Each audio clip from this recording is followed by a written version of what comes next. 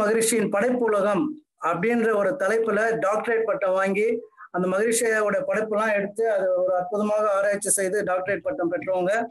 அது மட்டும் இல்லாம ஐடியில வந்து இப்போ இணை இயக்குனராகவும் தொண்டாட்டி கொண்டுட்டு இருக்கிறாங்க இப்படிப்பட்ட சிறப்புமிக்க ஐயா அவர்கள் அவர்களுடைய குரல் வளம் மிக அற்புதமானது. அனைவரும் அவரோட பாட்டு பாடி கேள்விப்பட்டிருப்பீங்க. அதனால இன்னைக்கு ஐயாவே இறைவணக்கம் குருவணக்கம் ரெக்வஸ்ட் பண்ணியிருக்கோம். அவருடைய குரல் அற்புதமாக இருக்கும். ஐயாவே பாட்டு பாடி இன்னைக்கு தவமும் ஐயாவை எடுக்கும்படி அன்புடன் கேட்டுக்கொள்கிறோம். இந்த நிகழ்ச்சிக்கு நமக்கு தலைமை தாங்கிக் கொண்டிருக்கும் காஞ்சிபுரம் மண்டலத்தின் தலைவர் மற்றும் இணை இயக்குனர் விரிவாக்கம் மயில்முருகன் ஐயாவையும் நமது காஞ்சிபுரம் மண்டலத்தின் பொருளாளர் சர்மா செல்வராஜ் இணை இயக்குனர் ஸ்மார்ட் மற்றும் இந்த நிகழ்ச்சிக்கு வருகை தந்திருக்கும் மாணவர் செல்வங்கள் அனைவரும் உங்கள் அனைவரையும் வருக வருக என்று வரவேற்று இந்த நிகழ்ச்சியை ஐயா அவர்கள் நடித்து கொடுக்கும்படி அன்புடன் வேண்டி கேட்டுக்கொள்கிறோம். வாழ்க வளமுடன். வாழ்க வையகம் வாழ்க வையகம் வாழ்க வளமுடன் சான்றோர் பெருமக்களாகிய உங்கள் அனைவருக்கும் இனிய மாலை வணக்கங்களை தெரிவித்துக் கொண்டு இன்றைய நிகழ்வை நாம் ஒரு இறைவணக்கம் குரு வணக்கம் சிறிய தவத்தோடு தொடங்க இருக்கிறோம். குரு வாழ்க குருவே துணை. எல்லாம் வல்ல தெய்வமது எங்கும் உள்ளது நீக்கமர. எல்லாம் வல்ல தெய்வமது எங்கும் உள்ளது நீக்கமர. சொல்லால் மட்டும் நம்பாதே சுயமாய் சிந்தித்தே தெளிவாய் வல்லாய் உடலில் இயக்கமவன் வாழ்வில் உயிரில் அறிவுமவன். கல்லார்கற்றார் செயல் விளைவாய் காணோ இன்ப துன்பமவன். அவனின் இயக்கம் அணுவாற்றல் அணுவின் கூட்டு பக்குவம் நீ. அவனில் தான் நீ உன்னில் அவன் அவன் யார்? நீ யார் பிரிவேது? அவனை மறந்தால் நீ சிறியோன் அவனை அறிந்தால் நீ பெரியோன். அவன் நீ ஒன்றாய் அறிந்த இடம் அறிவே முழுமை அது மோக்தி. அறிவே முழுமை அது மோக்தி அறிவே முழுமை அது மோக்தி. சிந்தையை அடக்கி சும்மா இருக்கின்ற சீரறியச் செய்த குருவே அந்த நிலைதனில் அறிவு அசைவற்றிருக்க பெறும். ஆனந்தம் பொங்குதங்கே இந்த பெரும் உலகமிசை எடுத்த பல பிறவிகளின் இறுதி பயனாகிய சந்ததமும் என்னை மறவாத சாந்த வாழ்வழித்தோய். என் சந்தோஷ செய்திதுவே. என் சந்தோஷ செய்திதுவே. நாம் அமர்ந்துள்ள இடத்தை சுற்றிலும் நல்ல தெய்வீக ஆற்றலே நிரம்பின. நாம் அமர்ந்துள்ள இடத்தை சுற்றிலும் நல்ல தெய்வீக ஆற்றலே நிரம்பின. நாம் அமர்ந்துள்ள இடத்தை சுற்றிலும் நல்ல தெய்வீக ஆற்றலே நிரம்பின அருட்பேராற்றல் உடலிலே உயிரிலே அலை அலையாக பாய்வதை உணர்கிறோம். அருட்பேராற்றல் உடலிலே உயிரிலே அலை அலையாக பாய்வதை உணர்கிறோம். அருட்பேராற்றல் உடலிலே உயிரிலே அலை அலையாக பாய்வதை உணர்கிறோம். அருட்பேராற்றல் இரவும் பகலும் எல்லா நேரங்களிலும் எல்லா இடங்களிலும் எல்லா தொழில்களிலும் உறுதுணையாகவும் பாதுகாப்பாகவும் வழி நடத்துவதாகவும் அமையுமாக. அன்னைக்கு வணக்கம். தந்தைக்கு வணக்கம். ஆசான் அருள் தந்தை வேதாத்ரி மகரிஷி அவர்களுக்கு வணக்கம். தவம் துரியம் தொடக்கம் ஆகினை.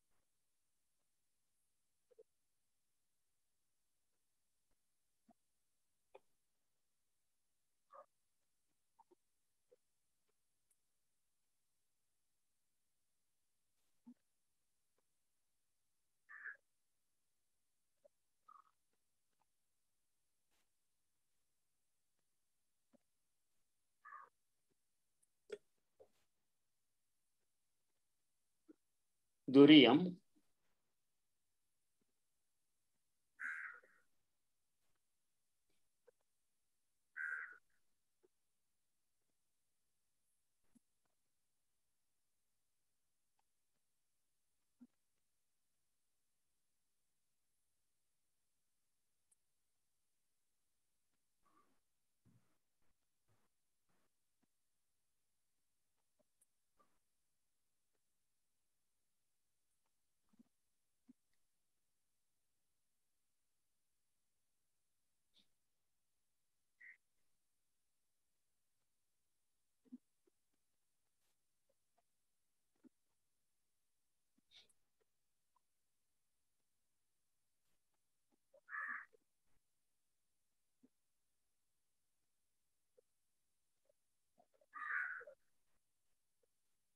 வாழ்க வளமுடன்.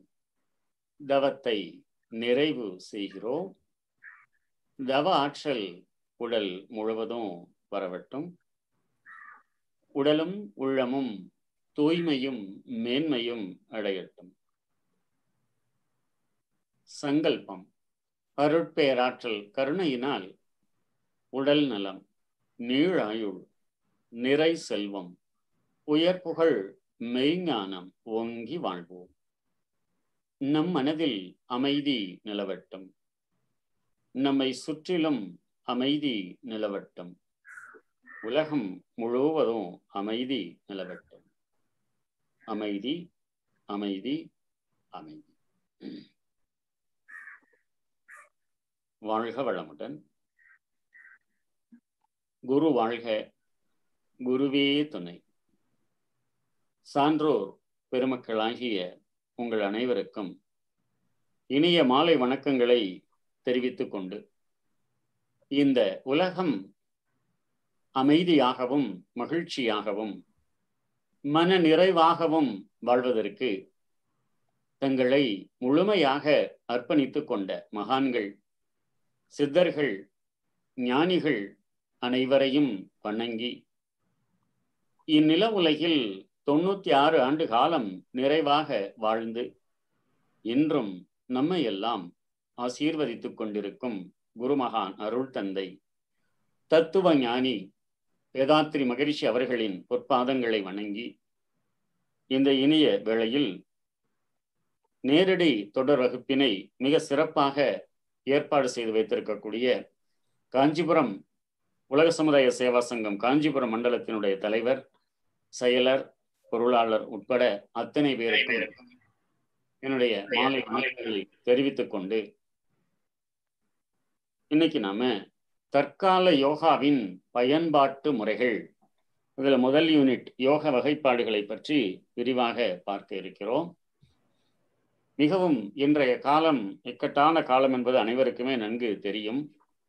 இந்த யோக முறைகள் மனிதனுக்கு எந்த அளவிற்கு வழி காண்பிக்கிறது யோகம் என்றாலே இணைதல் என்று பொருள். அனைவருக்கும் நன்றாக தெரியும். யோகம் என்றாலே இணைதல் அல்லது இனிமை காத்தல். அப்ப எதற்கும் எதற்கும் இனிமை காக்கப்படுதல் வேண்டும்? எதை இணைத்திருக்க வேண்டும்? அப்போ மனிதன் அப்படின்னு சொன்னா தனியாக வாழவில்லை மனிதன். ஒரு தனி மனிதன் என்பவன் மகரிஷி அவர்கள் வாழ்க்கை தத்துவத்தில் மிக அருமையாக எடுத்துச் சொல்லுகிறார்கள்.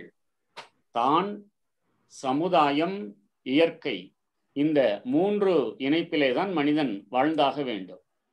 அப்போ தனி மனிதன் இயற்கை எந்த நிலையில் இருக்கிறதோ அதற்கு கட்டுப்பட்டுத்தான் நடக்க வேண்டும். இயற்கையை மீறி எதுவும் செய்ய முடியாது. மழை வருகிறது என்றால் அதற்கு தகுந்தாற் போல பாதுகாப்பு கவசங்களை அவன் அணிய வேண்டும். வெயில் அடிக்கும் பொழுது அதற்கு தகுந்தாற் போல அவன் மாறியாக வேண்டும்.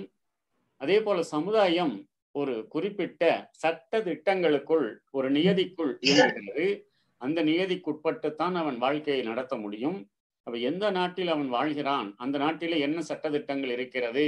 என்பதை பொறுத்து தான் அவனுடைய வாழ்க்கையை அமைத்துக் கொள்ள வேண்டும். இப்ப இந்த மூன்றிற்கும் இனிமை கெடாமல் உடல் உயிர் மனம் இந்த மூன்றையும் இணைப்பாக வைத்துக் கொண்டுதான் அவன் வாழ வேண்டும். அதற்கு யோகம் மிக மிக அவசியமாகிறது. உடலுக்கும் உயிருக்கும் ஒரு இணக்கமான உறவு வேண்டும். உயிருக்கும் மனதுக்கும் இணக்கமான உறவு வேண்டும்.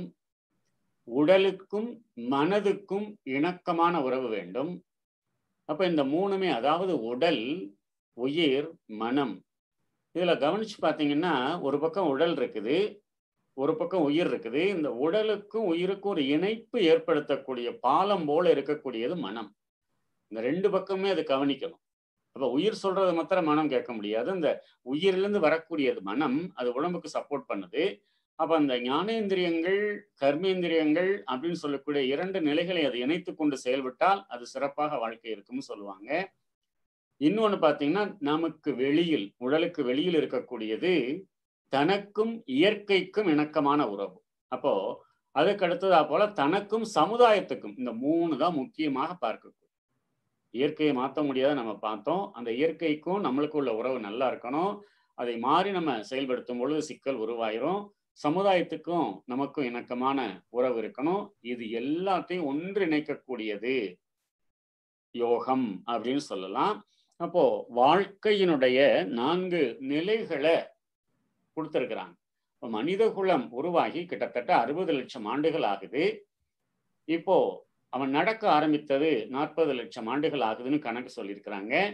ஒரு ஆய்வு உத்தேசமான ஆய்வு. உறுதியா இவ்வளவுதானா அப்படிங்கிறதெல்லாம் சொல்ல முடியாது. மனிதன் சிந்தனை செய்ய ஆரம்பித்து ஒரு லட்சம் வருஷம் ஆகுது. மொழிகள் எல்லாம் உருவாக ஆரம்பித்து இப்ப கலாச்சாரங்கள் நாகரிகங்கள் இவைகள் எல்லாம் உருவாக ஆரம்பித்து கிட்டத்தட்ட ஒரு ஐயாயிரத்திலிருந்து பத்தாயிரம் ஆண்டுகளுக்குள்ளாராக இருக்கலாம் என்று கணிக்கப்படுகிறது. அந்த காலகட்டங்களிலே தான் எல்லாமே உருவாகி இருக்கிறது. மனிதனுடைய நடைமுறை வாழ்க்கை. இன்றைக்கு நாம் பார்க்கக்கூடியது எல்லாமே யோக முறைகளாகட்டும் மற்ற வளர்ச்சிகளாகட்டும் இது எல்லாமே ஒரு ஐயாயிரத்திலிருந்து பத்தாயிரம் ஆண்டுகளுக்குள்ளாக. ஆசான் அவர்கள் மிக அற்புதமாக சொல்லுகிறார்கள் எல்லாமல்ல இறைநிலை தன்னை ரசிப்பதற்காக எடுத்துக்கொண்ட உன்னதமான வடிவம் மனிதன் சொல்றாங்க. அப்ப அந்த இறைநிலை தான் எல்லாமாக மாறி இந்த அளவிற்கு வந்திருக்கிறது. ஒரு மேலை நாட்டு அறி அறிஞர் சொல்லுகிறார் ஆதர் யங் அப்படிங்கிற ஒரு மேலை நாட்டு அறிஞர் சொல்லுகிறார் இறைநிலை மூலகங்களிலே உறங்குகிறது. இறைநிலை மூலகங்களிலே உறங்குகின்றது. அதே இறைநிலை தாவரங்களிலே எழுந்து நிற்கிறது. அதே இறைநிலை விலங்குகளிலே நடந்து செல்கிறது. அது இறைநிலை மனிதநிலை சிந்திக்கிறது. அப்ப இறைநிலை தான்.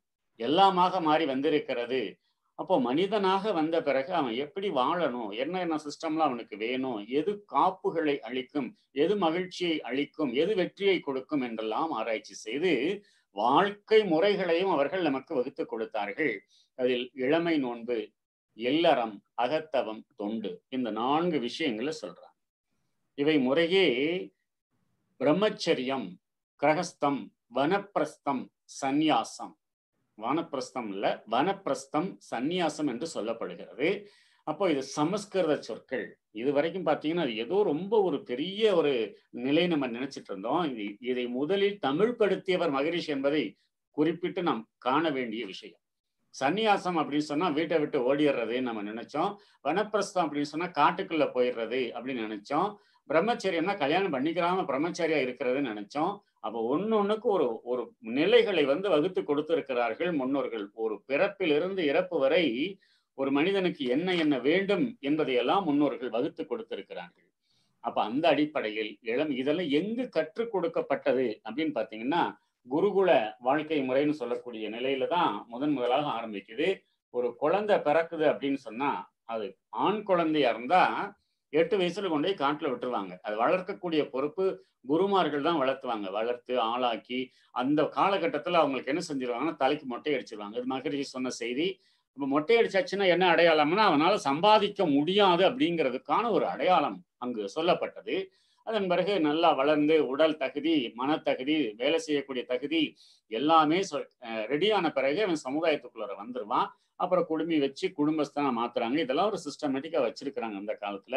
அப்போ இந்த இளமை நோன்பு என்பது பக்தி யோகத்திலும் என்ன யோக முறைகள் யோக வகைப்பாடுகளை பற்றி நாம் இந்த பாடத்திலே பார்த்து கொண்டிருக்கிறோம். இளமை நோன்பு என்பது எந்த காலத்திலனா ஒரு விவரம் தெரியாத ஒரு காலகட்டத்தில் அது பக்தி யோகத்திற்கு சொல்லப்பட்டது. அடுத்ததாக இல்லறம் என்பது கர்ம யோகம் கடமையறம் அதெல்லாம் நம்ம விரிவா பார்க்க போறோம். இப்போ சுருக்கமா நம்ம தெரிஞ்சுக்கலாம். ஏன்னா யோக வகைகள் என்ன என்ன? என்ற கேள்வி கேட்கப்படும். நான்கு விதமான இப்படி கூட கேட்கலாம். நான்கு விதமான ஆசிரம தர்மங்கள் என்ன அப்படின்னாக்க இந்த நாளையும் நம்ம சொல்லலாங்க. இளமை நோன்பு என்பது பக்தி யோகத்திலும் இல்லற நோன்பு என்பது கர்ம யோகத்திலும் அகத்தவம் என்பது ராஜயோகத்திலும் தொண்டு என்பது ஞான யோகத்திலும் அது முன்னோர்களால் வகைப்படுத்தப்பட்டுள்ளது. வாழ்க்கையினுடைய நான்கு நிலைகளில் கடைபிடிக்க வேண்டிய நெறிமுறைகள் முதலாவதாக இளமை நோன்பு. அது பக்தி யோகத்துல நமக்கு சொல்லப்படுகிறது. இந்த பக்தி யோகத்துல வந்து பாத்தீங்கன்னாக்க கல்வி கற்கக்கூடிய காலம். ஏற்கனவே உங்களுக்கு சொன்னது மாதிரி எட்டு வயசுல இருந்து அவங்க வெளியில போய் காட்டுக்குள்ளார போய் அவங்க கல்வியை கற்க வேண்டும். அடுத்ததா பாத்தீங்கன்னா இல்லறம் என்பது கர்ம யோகம் கிரகஸ்தம். அப்போ அவனுக்கு வந்து உடல் தகுதியானக்கு பிறகு ஒரு வாழ்க்கை துணையை கடைபிடிச்சு இப்ப சரி இந்த இளமை நோன்பு பிரம்மச்சரியம் அப்படிங்கிறது பெண்களுக்கு இருக்குதான்னா இருக்குது. அதை நம்ம முன்னோர்கள் வேற ஒரு நோன்புல பாவை நோன்பு அப்படின்னு சொல்லி மார்கழி மாதம் முப்பது நாளும் பெண்கள் என்னெல்லாம் செய்யணும் அப்படிங்கிறத அம்மா வந்து அவங்க பெண் குழந்தைகளுக்கு சொல்லிக் கொடுக்கணுங்கிற விதிமுறையை சொல்லி கொடுத்தாங்க. இன்னைக்கு எந்த வீட்டுல எந்த அம்மா சொல்றத எந்த பெண் குழந்தை கேட்கறாங்கன்னா நமக்கு அது தெரியல. இல்லைங்களா? அப்ப எல்லாமே இன்னைக்கு யூடியூப்லயும் அதுல வாட்ஸ்அப்லயும் அந்த மாதிரி நிலைமையில் இருக்கிறதுனால புதுசா கல்யாணம் பண்ணிட்டு போனா எப்படி சமையல் செய்யறது சீரகம்னா என்ன? மஞ்சள்னா என்ன? மிளகுனா என்ன? அப்படின்னு ரொம்ப பேருக்கு தெரியறது இல்லை நிறைய நிறைய இடர்பாடுகள் இப்போ முக்கியமா வந்து பாத்தீங்கன்னா என்னென்ன கல்வியில நம்மளுக்கு வேணும்? சமையல் பண்றது எப்படின்னு தெரிஞ்சிருக்கணும். துணி துவைக்கிறது எப்படின்னு தெரிஞ்சிருக்கணும். இப்ப தெரியுதோ இல்லையோ இந்த கொரோனா காலத்துல ஒவ்வொரு வீட்லயும் ஆண்களுக்கும் பெண்களுக்கும் ஏன்னா இவ்வளவு நாளும் பாத்தீங்கன்னா எல்லாரும் ஓடிட்டு இருந்தாங்க. பைக்லையும் கார்லையும் ஆபீஸ்லயும் ஏசிலையும் அந்த வேலை இந்த வேலைன்னு எங்க சீரகம் இருக்குது எங்க மஞ்சள் இருக்குன்னு தெரியல. ஒன்று வீட்டில் பெண்கள் சமைப்பாங்க இல்லை ஆண்கள் சமைப்பாங்க இல்லைன்னா வேலைக்காரங்க சமையல் பண்ணுவாங்க. இப்போ யாரும் எந்த வீட்லயும் வேலைக்காரங்க வரல. இப்பதான் தெரியுது நம்ம முன்னோர்களுடைய வாழ்க்கை நெறி எப்படியெல்லாம் இருந்தது அப்படிங்கிறது நமக்கு நல்லா தெரிஞ்சது இல்லைங்களா? அப்போ இந்த இல்லறம் எப்படி நடத்த வேண்டும்? இல்லம் என்றால் என்ன? பொருள் ஈட்டி வாழ்க்கை துணையுடன் சேர்ந்து சேமித்து பிறருக்கு ஈந்து மனையறம் நடத்துவது.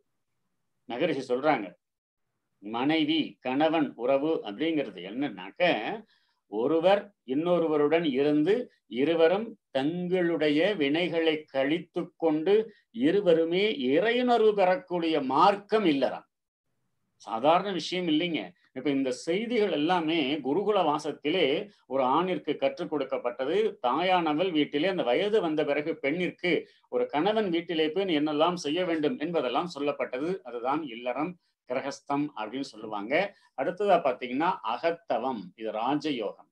வனப்பிரஸ்தம்னு சொல்லுவாங்க. வனப்பிரஸ்தம்னாக்க அதுல யோக முறைகளை பற்றி விரிவாக தவம் செய்யறது. எப்படி? உடலுக்கும் உயிருக்கும் உள்ள தொடர்பு என்னென்னலாம் இருக்குது? உடலை எப்படி பக்குவமா வச்சுக்கணும்? பிராணசக்தி எப்படி நீ வளர்த்திக்கணும்? இயற்கைக்கு நம்மளுக்கும் என்ன தொடர்பு இருக்குது? அப்படிங்கிற தவம் ஏற்றி இறையனுறு பெறுவது அப்படிங்கிறத சொன்னோம் இப்ப இவ்வளவு காலமும் இந்த வாய் இந்த வசதி வாய்ப்புகள் எல்லாம் எப்படி கிடைத்தது? யார் மூலமாக கிடைத்தது? யார் எனக்கு கொடுத்தாங்க? அப்படின்னா சொசைட்டில இருந்து பூரா எடுத்து நம்ம அனுபவிச்சிருக்கிறோம். அப்ப அதை திருப்பி கடன் பட்டதையெல்லாம் திருப்பி நம்ம கொடுக்கணும். அதற்கு தொண்டு செய்வது ஞான யோகம். மகிழ்ச்சி சொல்றாங்க இறையுணர்வு யார் ஒருவரும் இறையுணர்வு பெறணும்னு சொன்னா தவத்தின் மூலமாக கிடையாது. தவம் ஒரு வழிகாட்டுதல் ஒரு வழிமுறையை காண்பிக்கிறது. உன்னை அறிந்து உய்ய உலகோர்க்கு தொண்டு செய்வேன். என்னை அந்த இறைவா சொல்றாருங்க உலக மக்களுக்கு தொண்டு செய்வதன் மூலமாக மட்டுமே இறைவன் சித்தியாகும் சொல்றாருங்க. அந்த அடிப்படையில சந்நியாசம் என்பது ஞான யோகம் கடைசி காலத்துல இருக்கக்கூடிய ஒரு நிலை. தற்கால நிலைமை எப்படி இருக்குதுங்க? இன்னைக்கு பாத்தீங்கன்னா எல்லாத்துக்குமே அத்தனை தேவைகளுக்குமே செல்போன் வந்துருச்சு. கம்ப்யூட்டர் டெவலப் ஆயிடுச்சு. சந்திரமண்டலத்துக்கு போயிட்டோம் செவ்வாய்க்கு போயிட்டோம். ஆனாலும் கூட இன்னைக்கு பாத்தீங்கன்னு சொன்னாக்க ஆண்கள் பிரம்மச்சாரியாகவே இருந்து துறவரம் பூண்டு தவம் கற்ற நிலை மாறி இல்லறத்தில் இருந்து கொண்டே தவம் ஏற்று இறைநூறு பெறலாம்ங்கிற நிலைக்கு நாம வந்திருக்கோம். ஒரு காலத்துல அது முடியுமா? இல்ல. மகரிஷிக்கு பிறகுதான் மகரிஷி வந்ததற்கு பிறகுதான் இந்த யோக நிலை அனைவருக்குமே ஆண்களுக்கும் பெண்களுக்கும் அனைவருக்கும் கிடைக்கும் அப்படிங்கிற ஒரு நிலை கிடைத்திருக்கிறது ஒரு காலத்துல. காட்டுக்கு போகணும் பன்னிரெண்டு வருஷம் காட்டுல இருக்கணும். எனவே இது வந்து யோகம் என்பது சாதாரணமானவர்களுக்கு சாமானியர்களுக்கு கிடைக்காது அப்படிங்கிற ஒரு நிலை இருந்தது. வயது முதிர்ந்தவர்களுக்கு மட்டுமென்று இல்லாமல் இளம் வயதினரும் தவம் இறைஞானமும் பெறலாம்னு சொன்னாங்க. பாருங்க இப்போ ஒரு சின்ன வயசுல போய் தவம் பண்ண போனா இது என்னடா இன்ன வயசுல நீ தவத்துக்கு போயிட்டேன் கல்யாண காட்சியெல்லாம் இருக்குது இன்னும் குடும்ப கடமையெல்லாம் இருக்குது புள்ள குட்டியெல்லாம் இருக்கு நீ இப்ப போய் தவத்துல. அதாவது ஒரு தவறாக கற்பிக்கப்பட்டது. ஒரு விஷயத்த நாம தெளிவா இந்த இடத்துல புரிஞ்சுக்கணுங்க. பொருள் சம்பாதிக்கணும் அப்படின்னாலும் சரிங்க. அருளை இறைஞானம் பெற வேண்டுமானாலும் சரிங்க. உடல் வலு இருந்தால் மட்டுமே முடியும். இப்ப உடல் வலு எண்பது வயசுல வருமா? எண்பது வயசுல உட்காந்து தவம் பண்ண முடியுமா? யோகம் பண்ண முடியுமா? யோசிச்சு பாருங்க. அதாவது கடைசி காலத்துல எதுவுமே செய்ய முடியாது. எனவேதான் குருகுலத்துல எட்டு வயசுல இருந்து மெதுவாக போதிக்கப்பட்டது. அப்போ பெண்களும் அதே நிலைதான். பெண்களும் அகத்தவம் கற்று ஞானம் பெற முடியும் அப்படிங்கிறது தற்காலத்துல தெளிவாக நமக்கு கற்றுக் கொடுக்கப்பட்டது மகரிஷி மூலமாக. இறையுணர்வு பெற்றவர் சில நிமிடங்களிலேயே தீட்சை கொடுத்து தவமியற்ற கற்றுக் கொடுக்க முடியும். அந்த காலத்துல இது சாத்தியம் இல்லை தற்காலத்துல இது சாத்தியம். ஏற்றின உடனே சரி தலை தலை பாரம் வந்துருச்சுன்னு சொன்னா அது ஏன் வந்துச்சு அப்படிங்கிறத தெரிஞ்சு அதை கீழே இறக்குறதுக்காக வேண்டி அது நம்ம கற்றுக் கொடுக்க முடியும் அப்படிங்கிறத சொன்னாங்க. அதே மாதிரி ஏறுபடி தவம் கற்றவர் இறங்குபடி தெரி இறங்குபடி தவம் தெரியாமல் துன்பப்பட்ட நிலை மாறி சாதி தவம் என்ற இறங்குபடி மூலம் துன்பமின்றி தவம் கற்பதற்கு இது உதவியாக இருந்தது. அதே மாதிரி வாழ்க்கை தத்துவம் பன்னிரெண்டில் மூன்று அறிவின் நிலைப்படிகள்னு சொல்லுவாங்க. நம்பிக்கை விளக்கம் முழுமை பேரு இது யோக முறைகள்ல ரொம்ப முக்கியமானதுங்க. நம்பிக்கை வழி என்பது பக்தி யோகம். விளக்க வழி என்பது ஞான யோகம். முழுமை பேறு என்பது தொடர்ந்து தபமுயற்சி அகத்தாய்வு செய்து மன தூய்மை வினை தூய்மை பெற்று அறிவிலே முழுமை அடைவது அப்படிங்கிறத சொன்னாங்க. அப்ப யோக முறைகள் என்னெல்லாம் நமக்கு கொடுத்தாங்க? யோக முறைகளை சான்றோர்கள் பார்த்தீங்கன்னா கிட்டத்தட்ட அந்த காலத்துல முப்பது கோடி முகமுடையார் என்னை சிந்தனை ஒன்றுடையார்னு சொல்லி சொன்னாங்க. இன்னைக்கு எண்ணூறு கோடி எண்ணூத்தொன்பது கோடிக்கு மேல மக்கள் தொகை பெருகிருச்சு. அப்போ கனியன் பூங்குன்றானார் சொன்னது மாதிரி தீதும் நன்றும் பிறர் தரவாரா? முற்பகல் செய்யும் பிற்பகல் விளையும். இந்த செயல் விளைவு தத்துவத்தை எல்லாம் மிக அருமையாக யோக முறைகள்ல சிந்தனையாளர்கள் நமக்கு சொல்லி கொடுத்திருக்கிறாங்க. அப்போ மனித பிறப்பினுடைய நோக்கம் வந்து இறையன் இறை இறையுணர்வு பெறுவதுதான். அப்ப இதுவரைக்கும் எவ்வளவு மக்கள் உருவானாங்க அப்படின்னு யாருக்குமே தெரியாது. உதாரணம் சொல்லுவாங்க பாருங்க எப்படி கடல்ல வந்து நீர் இருக்குது எத்தனை தொழில் எண்ண முடியுமா அது மாதிரி எத்தனை பேர் உருவானாங்க எத்தனை கோடி மக்கள்னு தெரியாது. வந்தாங்க பிறந்தாங்க இறந்தாங்க செத்தாங்க அப்படியே போயிட்டே இருக்கிறாங்க. அப்போ மனிதன் உட்பட எல்லா உயிரினங்களுமே இன்பத்தை மட்டுமே நாடுகின்றன அந்த இன்பத்திற்காகவே செயல்களை செய்கின்றன. அந்த செயல்கள் செய்யும் பொழுது என்ன நடக்குது? விளைவை யாரும் கணிக்கிறது இல்லை இந்த செயல் செய்தா என்ன விளைவு வரும்? அது யாரு கணிச்சு செய்யறது இல்லை இப்போ உதாரணமா நம்மளுக்கே தெரியும். வெளியில போகாதப்பா அரசாங்கம் சொல்லிட்டு இருக்குது. வெளியில போகாத வீட்லயே இரு வீட்லயே இரு அப்படின்னா இன்னும் வந்து கொரோனா நின்ன பாடு இல்லை வளர்ந்துட்டே போகுதுன்னா அதுக்கு என்ன காரணம்? நம்மளால வீட்டுல இருந்து பழகல. வீட்டுல இருக்க முடியல. வெளியில சுத்தி பழகுனதுனால அந்த உடல் செல்கள் தூக்கிட்டு போக பழகுது. இதுல மனவள கலைஞர்கள் மாத்திரம் சற்று வேறுபாடா நம்ம பார்க்க முடியும் அப்படிங்கிறத சொல்றாங்க. இன்னொன்னு யோகம் என்பதற்கான இன்னொரு விளக்கத்தை முன்னோர்கள் சொல்றாங்க. சிற்றறிவு பேரறிவுடன் இணைதலே யோகம். பாருங்க இதுல. சிற்றறிவு பேரறிவு ரெண்டுல இருக்கக்கூடியது அறிவு தான் அப்ப அதுவே முற்றறிவாகவும் இருக்குது. அப்போ இறையுடன் இணைதலால் கிடைக்கும் பேரின்பமே யோகம். இதை வார்த்தைகளால சொல்ல முடியாது. மகிழ்ச்சி சொல்லுவாங்க. தவம் செய்து செய்து செய்து துரியாத நிலையிலே சித்தியாகி அந்த நிலையோடு நீங்கள் இணைந்து விட்டீர்கள் என்றால் அந்த ஆனந்த அனுபவத்தை அச்சரங்கள் கொண்டு அளக்க முடியாது அப்படிங்கிறத சொல்றாங்க.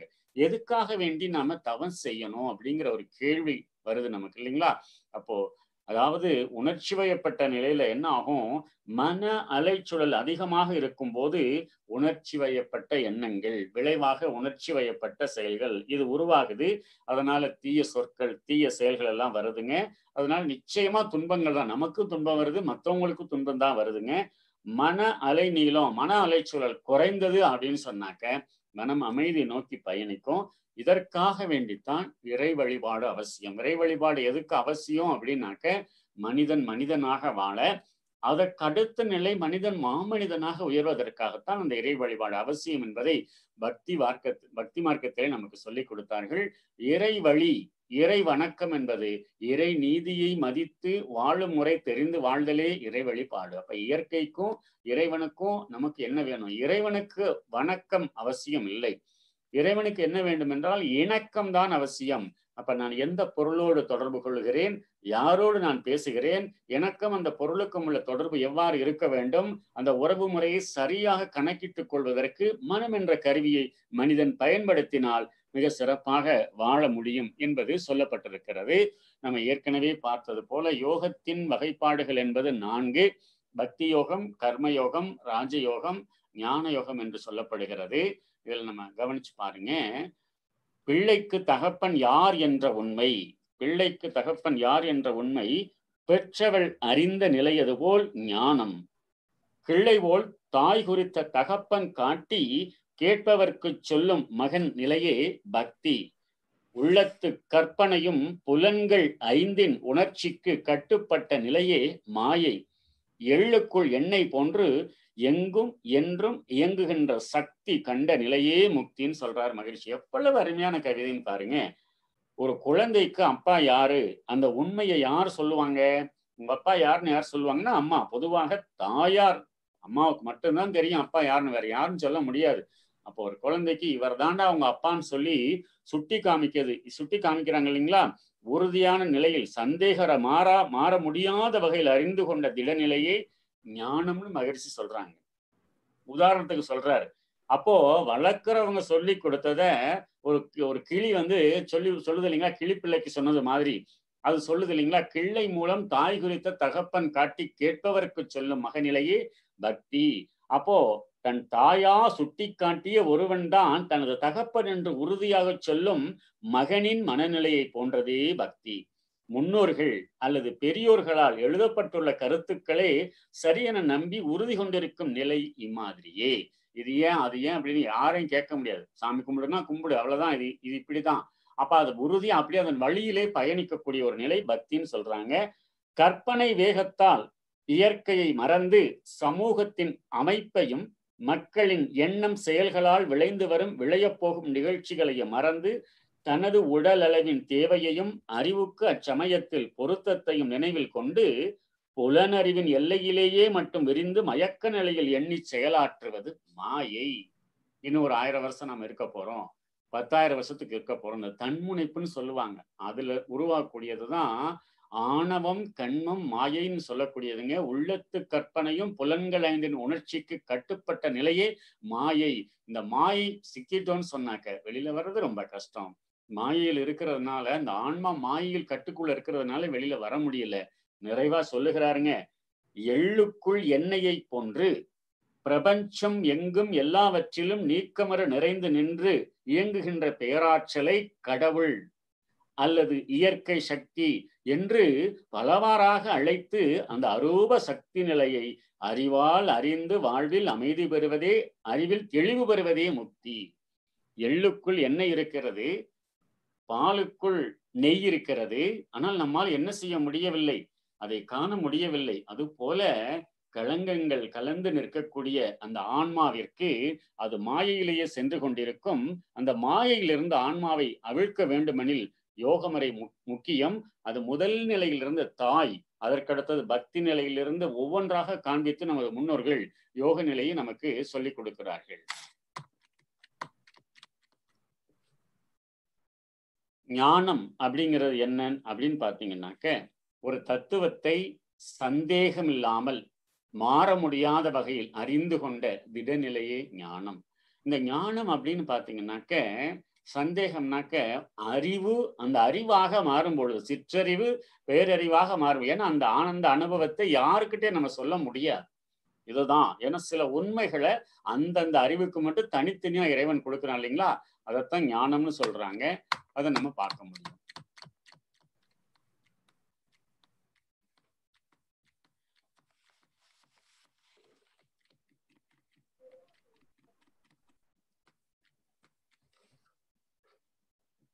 அதுபோல மனிதன் வந்து அவனுடைய வாழ்க்கையில வந்து எல்லாம் நிறைவா இருக்கணும் அப்படின்னு சொன்னாக்க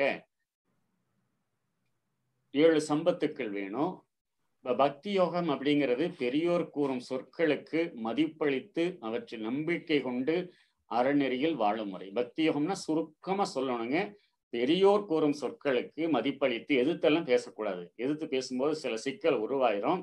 ஏன்னா மகரிஷி வாழ்க்கையில நிறைய அவங்க வீட்டில் சமையல் செய்யும் போது படையெல்லாம் போடுவாங்க இறை வழிபாட்டு சமயத்தில். அப்போ வந்து மகரிஷி குழந்தையா இருக்கிறாங்க. அப்போ அந்த காலத்துல வந்து வழக்கத்தில் வர்றது பெரிய ஒரு சில கடவுளுக்கு இந்த இதெல்லாம் லிக்வர்ஸ் வைப்பாங்க இல்லைங்களா? அப்போ வைக்கும்போது அவர் கேள்வி கேட்குறாரு இது உங்களுக்கு வேணா தனியாக குடிங்களே இது எதுக்கு வந்து சாமிக்கு? இப்படி கேள்வியெல்லாம் கேட்பாரு. சாமிக்கு முன்னாடி ஏன் படைக்கிறீங்க? எல்லாம் கேட்குறாருங்க. அப்போ அப்படிலாம் கேட்கக்கூடாது அப்படின்னு சொல்லிட்டு சொல்கிறாங்க அம்மா அப்பாவும் வழிகாட்டுறாங்க. அப்பா சொல்கிறாரு இல்லைம்மா அவன் வந்து அறிவில் கேட்குறான் அவனுக்கு நம்ம பதில் சொல்லணும் அப்படிங்கிறத சொல்றாங்க. அப்ப பக்தி யோகம் என்பது பக்தி என்பது நம்பிக்கை. பற்று இறை மீது நம்பிக்கை. சந்தேகம் இல்லாமல் எந்த விதமான சந்தேகம் இல்லாமல் முழுமையாக இறைவன் மீது நம்பிக்கை வைப்பதுதான் இறை மீது பற்றுன்னு சொல்றாங்க. இறையுடன் இணைப்பு அப்படிங்கிறது என்னன்னு பார்த்தீங்கன்னா புற வழிபாடு சிலை வடிவங்களின் மூலம் இறைவனை வழிபடக்கூடிய முறைகளை நமது முன்னோர்கள் சொல்லி கொடுத்திருக்கிறாங்க. அது எதுக்காக அப்படின்னா மனித பிறவினுடைய நோக்கம் வெற்றி பெறுவதற்கு அறிவும் வேண்டும் பொருளும் வேண்டும். பொருள் தேவை என்பது உடலை பொறுத்தது. அப்ப இது எப்படி வருதுன்னு கேட்டீங்கன்னா ஏழு சம்பத்துக்கள் உடலுக்கு மனிதனுக்கு வேண்டும். எல்லா வகையிலும் சரியா இருந்தா தான் அவனால வாழ முடியும். ஒன்னொன்னா பார்க்கலாங்க. அதுல வந்து உடல் அமைப்பு குணம் அறிவின் உயர்வு செல்வம் கீர்த்தி அல்லது புகழ் உடல் வலிவு சுகம் இதெல்லாம் சொல்றாங்க. அப்போ ஒரு செயல் செய்வதற்கு நமக்கு என்ன வேணும்னா உடம்பு நல்லா இருக்கணுங்க. ஒரு சுண்டு விரல்ல இருந்து கட்டை விரல்ல இருந்து உடலினுடைய எல்லா உறுப்புகளும் சரியா இருந்தா தான் முழுமையான வாழ்க்கை. அப்ப அவ்வளவு அவ்வளவு கிஃப்ட் நமக்கு ஒரு கிடைச்சிருக்குது இல்லைங்களா? அதே போல குணம். குணம் ஒரு மனிதனை உயர்ந்த நிலையிலும் தாழ்ந்த நிலையிலும் கொண்டு போய் நிறுத்துகிறது. நல்ல ஒரு சாத்வீகமான குணம் மகிழ்ச்சியான குணம் எல்லோரோடும் இனிமையாக இணக்கமாக பழகக்கூடிய ஒரு குணம் இருந்ததுன்னா வாழ்க்கையில உயர்வு கிடைக்கும். அது சொல்லப்படுது. மூன்றாவதாக அறிவின் உயர்வு. அறிவின் உயர்வு என்பது கூர்ந்து உணர்ந்து சரியாக எண்ணி பொறுமையாக செயல்பட சிறந்த அறிவினுடைய நுட்பம் இருந்தா மட்டும்தான் எல்லாமே சாத்தியமாகும். எந்த ஒரு பொருளை பற்றியும் அது நமக்கு தெரிஞ்சுக்கணும்னு சொன்னா அறிவினுடைய உயர்வு அவசியம். அந்த அறிவினுடைய உயர்வுக்கு நம்ம எதன் மூலமாக தெரிந்து கொள்ள முடியும்னா தவம் செய்தால் தான் அந்த பொருளை பற்றிய ஞானம் அறிவு நமக்கு கிடைக்குங்க. நான்காவதாக செல்வம். எவ்வளவு அறிவு இருக்குதுங்க? அறிவு இருந்தாலும் கூட பணம் இல்லைன்னு சொன்னா இந்த காலத்துல எதுவும் செய்ய முடியாது. எல்லா விதமான உயர்வுகளுக்கும் நமக்கு வேண்டிய வாழ்க்கை வசதிகளுக்கும் பொருளாதார வசதி அவசியம் வேணும் நோயற்ற வாழ்வு கல்வி போன்றது எல்லாமே செல்வத்துக்குள்ள பணம் மட்டும் சொல்லலைங்க. செல்வம் என்று சொல்லக்கூடியது பொருளாதாரம் நோயற்ற வாழ்வு கல்வி இந்த எல்லா செல்வங்களும் நமக்கு கிடைக்கணுங்க. கீர்த்தி அல்லது புகழ். மக்கள் காட்டக்கூடிய நன்றி. மக்கள் வாழ்த்தக்கூடிய வாழ்த்து. ரொம்ப முக்கியமான விஷயமா நம்ம சொல்லலாங்க. என்ன சொல்லலாம்னா பெரிய பெரிய மகான்கள் எல்லாம் வாழ்ந்திருக்கிறாங்க. அறிஞர்கள் எல்லாம் அப்துல் கலாம் போன்றவர்கள் எல்லாம் வாழ்ந்திருக்கிறாங்க. எந்தவித எதிர்பார்ப்பை நினைச்சு அவங்க செயல் செய்யறது இல்லை முன்னமே செய்த ஏற்பாடு இப்ப நம்ம உட்காந்து நம்ம ஜூம் மீட்டிங்ல பேசிட்டு இருக்கிறேன் அப்படின்னு சொன்னாக்க நினைச்ச உடனே இது பண்ண முடியுமா? கொரோனா வைரஸ் வரப்போகுது. உலகம் முழுக்க பிரச்சனை வரப்போகுதுன்னு அந்த ஜூம் தயார் பண்ண சாஃப்ட்வேர் கம்பெனிக்காரனுக்கு தெரியுமானா? இல்ல. அவன் ஏதோ ஒரு நினைப்புல செய்து வச்சிருக்கிறான். இன்னைக்கு ஜூம் அப்படிங்கிற ஆப் இல்லைன்னு சொன்னா எவ்வளவு சிரமம் யோசிச்சு பாருங்க. அப்ப அவன் ஒரு விளைவை கணிச்சு அவன் செய்யறான் ஒன்று ஒண்ணு அப்படித்தாங்க இன்னைக்கு நாம. சமுதாயத்துல ஒவ்வொருத்தருமே செயல்படுறோம். ஒரு ரெண்டு லட்சம் பேர் கூட தொடர்பு கொள்றோம். அந்த ரெண்டு லட்சம் பேர் கூட நம்ம செயல்படுறோம் அப்படின்னா அந்த ரெண்டு லட்சம் பேரும் நமக்கு அவர் நல்லா இருக்கணும். நல்ல செயல் செய்துட்டு இருக்கிறாரு அப்படின்னு சொல்லி மனதார வாழ்த்துறாங்க இல்லைங்களா? அதுதான் புகழே தவிர புகைப்படம் எடுத்து போட்டுக்கொள்வது அது புகழ் அல்ல. இன்னைக்கு ஃபேஸ்புக்கில் எனக்கு வந்து நான் இவ்வளோ பெரிய ஃபோட்டோ போட்டானே எனக்கு யாருமே ஒன்றுமே போட மாட்டேங்கிறாங்களே அப்படின்னு நினைக்கிறதல்ல எந்த விதமான எதிர்பார்ப்பும் இல்லாமல் நம்ம செயல்களை செய்து அதன் மூலமாக மக்கள் கூட கொடுக்கக்கூடிய வாழ்த்து அலைகள் அதுதான் புகழ்னு சொல்லுவாங்க. உடல் வலிவு ரொம்ப முக்கியம். உறுதியான உடலமைப்பை பெற்றவனால் மட்டுமே எந்த காரியத்தையும் திடம்பட செய்ய முடியும். உடல் வலிவு இல்லைன்னு சொன்னா ஒண்ணுமே செய்ய முடியாது. அதுவும் ஒரு மனிதனுக்கு வேணுங்க. அதே மாதிரி பாத்தீங்கன்னா சுகம். மனித வாழ்வில் அமைதி திருப்தி சந்தோஷம். ஒரு சாப்பிடுறதுல ஒரு சுகம் வேணுங்க தூங்குறதுல ஒரு சுகம் வேணுங்க. நல்ல கம்ஃபோர்ட் லைஃப் பாருங்க பாரதியார் அழகா சொல்றாருங்க காணி நிலம் வேண்டும் பராசக்தி காணி நிலம் வேண்டும். அதுக்கு அடுத்து சொல்றாரு அங்கு பத்து பதினைந்து தென்னை மரங்கள் வேண்டும். அப்படி காற்று வரணும் அங்க கிளி எல்லாம் கொஞ்சணும். எவ்வளவு ஆனந்தமா அவர் மகிழ்ச்சியா சொல்றாரு. அப்போ ஒண்ணு ஒண்ணுமே சுகந்தானாங்க இந்த புலன்களுக்கு திருப்தி கொடுக்க வேண்டும். மெய்வாய் கண் செவி மூக்கு என்று சொல்லக்கூடிய அதன் மூலமாக வரக்கூடிய ஒரு சிறிய இன்பம் அது ஆத்மாவுக்கு திருப்தி அளிக்கிறது மகிழ்ச்சியை கொடுக்கிறது. இது எல்லாம் இருந்தால்தான் ஒரு மனிதனுக்கு சரியாக இருக்கும். இந்த ஏழு சம்பத்துக்களிலே குறைபாடு இருந்தால் அதை சரி செய்வதற்கு என்ன செய்யலாம் என்று முன்னோர்கள் ஆராய்ச்சி பண்ணி ஆராய்ச்சி செய்து சில துணை விதிகளாக பூசை விதிகள் பூஜை செய்யறது என்னெல்லாம் செய்தா இதை நம்ம செய்து கொள்ள உயர்ந்து கொள்ள முடியும் அப்படிங்கிறத கொண்டுட்டு வந்தாங்க. மனம் எண்ணினால் மட்டும் போதாது. இப்ப நமக்கு ஒரு ஒரு ஒரு செயல் வேணும் ஒரு பொருள் வேணும் அப்படின்னு மனசு நினைச்சா போதாது. மனம் என்ன என்ன என்ன உடம்புல இருக்கக்கூடிய எல்லா செயல்களும் அதற்கு ஒத்துழைக்க வேண்டும். அதாவது இயற்கை சட்டம் என்ன சொல்லுகிறது? பின்னமாக உள்ள சீவன் இறைவன்கிட்ட கேக்குது. சாமிஜி சொல்றாங்க ஃபிராக்ஷன் டிமாண்ட்ஸ் டோட்டாலிட்டி சப்ளைஸ்ன்னு சொல்றாங்க. அப்ப பின்னமாக இருக்கக்கூடிய நாம இறைவன்கிட்ட கேட்கிறோம். கேட்கறதெல்லாம் கிடைச்சிருதா? அல்லது கேட்கறதெல்லாம் இறைவன் கொடுத்துட்றாரா அப்படின்னா இல்ல தகுதியான நபருக்கு தகுதியான நேரத்தில் இறைநிலை கொடுக்கும். அப்ப நமக்கு எதை கேட்கணும் அப்படிங்கிறத தெரிஞ்சுக்கணும் மனசு அறிஞ்சிக்கணும் அறிவை நாம தெரிஞ்சுக்கணும் அப்ப முழுமுதற் பொருளாக உள்ள இறைநிலை பிரபஞ்சம் முழுவதும் ஐந்தறிவு என்ற நிலையிலே உயிரற்ற பொருட்கள் உயிர் பொருட்கள் எல்லாவற்றிலும் நீக்கமர கலந்து நிறைந்து இருக்கிறது யார் எங்கிருந்து எதை விரும்பினாலும் அது கிடைத்துதான் ஆக வேண்டும். ஆனால் மகிழ்ச்சி சொல்றாங்க ஆனால் விரும்பியவர்கள் தனது எண்ணத்தை அழுத்தமாக தகுதியாக வைத்து கொள்ள வேண்டும். அவ்வாறு எண்ணத்தை தகுதியாக அழுத்தமாக வைத்துக் கொள்வதற்கு முன்னோர்கள் சில சடங்கு முறைகளின் மூலமாக சில டெக்னிக் ஏன்னா சிந்தனை அறிவு இருக்கு இல்லைங்களா? நுண்ணறிவு இருக்கு இல்லைங்களா?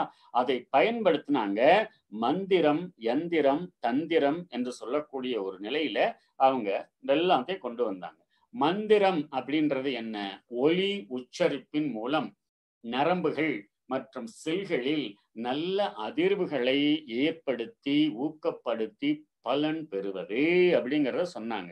ஒரு எழுத்தை உச்சரிக்கும் பொழுது மந்திரம்னா மந்திரம் என்பது ஒளி உச்சரிப்பு. அது தெளிவா நம்ம ரெண்டு மார்க்ல எழுதலாங்க.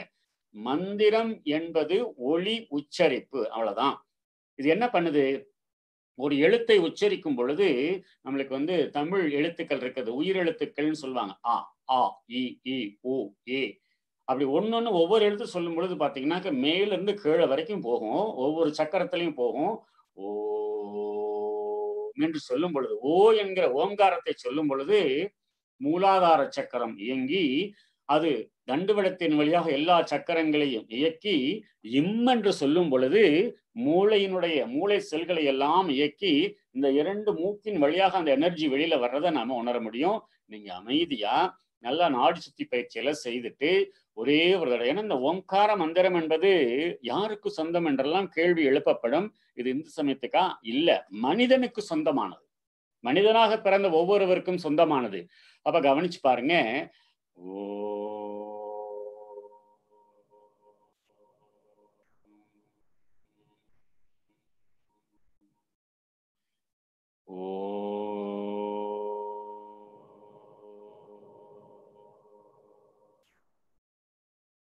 முடிக்கும் பொழுது அந்த இடத்தினுடைய வைப்ரேஷனில் ஒரு மாற்றம் தெரியும்.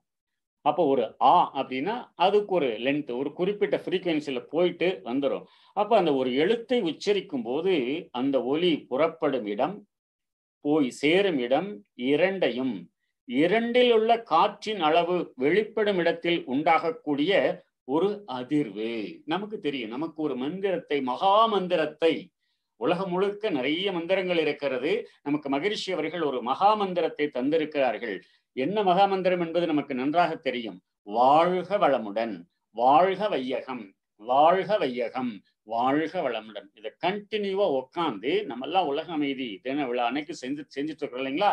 இது வட்டமா ரவுண்டா உட்காந்து அதை அப்படியே சொல்லி எங்கேயும் பிரேக் இருக்கக்கூடாது. ரொம்ப முக்கியமா நம்ம கவனிக்க வேண்டிய விஷயம் இதுல என்னன்னா எங்கேயும் பிரேக் இருக்கக்கூடாது. நோக்கம் ரொம்ப முக்கியம். ஒரு நோக்கத்தை நாம் ஏற்படுத்தி கொண்டு இந்த மகாமந்திரத்தை பிரயோகம் செய்தோம் என்றால் அது மிகப்பெரிய பலன்களை தரும். எப்படி பலன் தருகிறது? எத்தனை முறை இது உச்சரிப்பு இருக்கிறது? எத்தனை முறை சொல்லப்பட்டிருக்கிறது? எனக்கு ஒரு நினைவு இந்த இடத்துல வருகிறது. அவசியம் அன்பர்களுக்கு அதை சொல்ல வேண்டும். நாம் சங்கல்பம் சொல்லுகிறோம். அருட்பேராற்றல் கருணையினால் உடல் நலம் நீளாயுள் நிறை செல்வம் உயர்வுகள் மெய்ஞானம் ஓங்கி வாழ்வோம். இது என் யாரு எந்த இடத்துலயும் மாற்றவே கூடாது. இப்ப சிவைய நம நம சிவைய அதுக்குரிய ஒரு விளக்கம் ஒண்ணு நான் இப்ப சொல்ல போறேங்க. அப்ப சிவைய நம அப்படிங்கிறது நம சிவைய அப்படிங்கறத நம்ம எங்கேயாவது மாத்த முடியுமா? வேறு மொழியில மாற்ற முடியுமானா முடியாது. அப்போ ஒரு ஒரு எழுத்துக்கு ஒரு வேல்யூ இருக்குது ஒரு மதிப்பு இருக்குது ஒரு ஃப்ரீக்குவன்சி இருக்குது. அப்போ ஒரு எழுத்திற்கு ஒரு பலன் இருக்கிறது என்று சொன்னால் அதை அடுத்து இன்னொரு எழுத்து தொடரும் பொழுது அதை நல்ல முறையில் சேர்த்து நம்மை பாதுகாத்து மேலும் நன்மை அளிக்கக்கூடிய எழுத்தாக இருந்தால் அது உடலுக்கு மேலும் நல்ல பயன்களை தரும். அதுபோல் மாற்று எழுத்துக்களை போட்டால் அவை ஒன்றை ஒன்று வெட்டி வெட்டி வேறு மாதிரி அதிர்வை ஏற்படுத்தி விடும் இதுதான் மந்திரங்களிலும் ஸ்லோகங்களிலும் எடுக்கக்கூடிய குறிப்பு ஆகும். இது நீண்ட காலம் ஆராய்ச்சி செய்த நமது இந்திய நாட்டு மகான்கள் அறிந்து தொகுத்து வைத்திருக்கிறார்கள். அப்போ என்ன மந்திரம் சொல்ல வேண்டும்? அதற்கு நைவேத்தியம் என்ன வைக்க வேண்டும்? கணக்கு இருக்கிறது. சும்மா இதெல்லாம் ஆராய்ச்சி முறைகளிலே சொல்லப்பட்டிருக்கிறது. இந்த மந்திரத்தை சொன்னால் சர்க்கரை பொங்கல் வைக்க வேண்டும். இந்த மந்திரத்தை சொன்னால் நாட்டு சர்க்கரை வைக்க வேண்டும். கடலை வைக்க வேண்டும். பொறி வைக்க வேண்டும். இதெல்லாம் சில வைப்ரேஷன்ஸ் எதுக்காக அப்படின்னா மந்திரம் உச்சாடனம் சொல்ல சொல்ல சொல்ல சொல்ல உடலில் இருக்கக்கூடிய அந்த சொற்கள் வெளியில போய் மறுபடியும் தாக்க ஆரம்பிக்கும். அப்ப அங்க இருக்கக்கூடிய பொருட்கள் பிரசாதங்கள் மீதெல்லாம் பலருகிறது அதை முடித்த பிறகு அந்த பிரசாதத்தை நாம் எடுத்து சாப்பிட்டோம் என்றால் அதை முறித்துக் கொள்வது சமன் செய்து கொள்வது. இந்த அடிப்படையிலே தான் நமது முன்னோர்கள் அதை நமக்கு சொல்லிக் கொடுத்தார்கள். ஆக எந்த மந்திரம் எதை சொல்ல வேண்டும் எதை சொல்லக்கூடாது என்பதை நாம் தெரிந்து சொல்ல வேண்டும். தெரியாமல் சொல்லக்கூடாது. சிவாய நம என்று தினம் மூழ்கி உரு ஏற்றுவார். செய்தொழில் எல்லாம் வசியமாம். ஜெகவசியமாம் சகலமுகம் சகலமும் வசியமாம். செய்ய சித்துக்கள் எல்லாம் வசியமாம் சொன்னாங்க. நமக்கு தெரியும் ஒரு பஞ்சாட்சர மந்திரம். சிவாய நம நம சிவாய எதை சொல்லணும் எதுக்கு சொல்லணும் ஏன் சொல்லணும் அப்படிங்கறதெல்லாம் முன்னோர்கள் சொல்லி வைத்திருக்கிறார்கள்.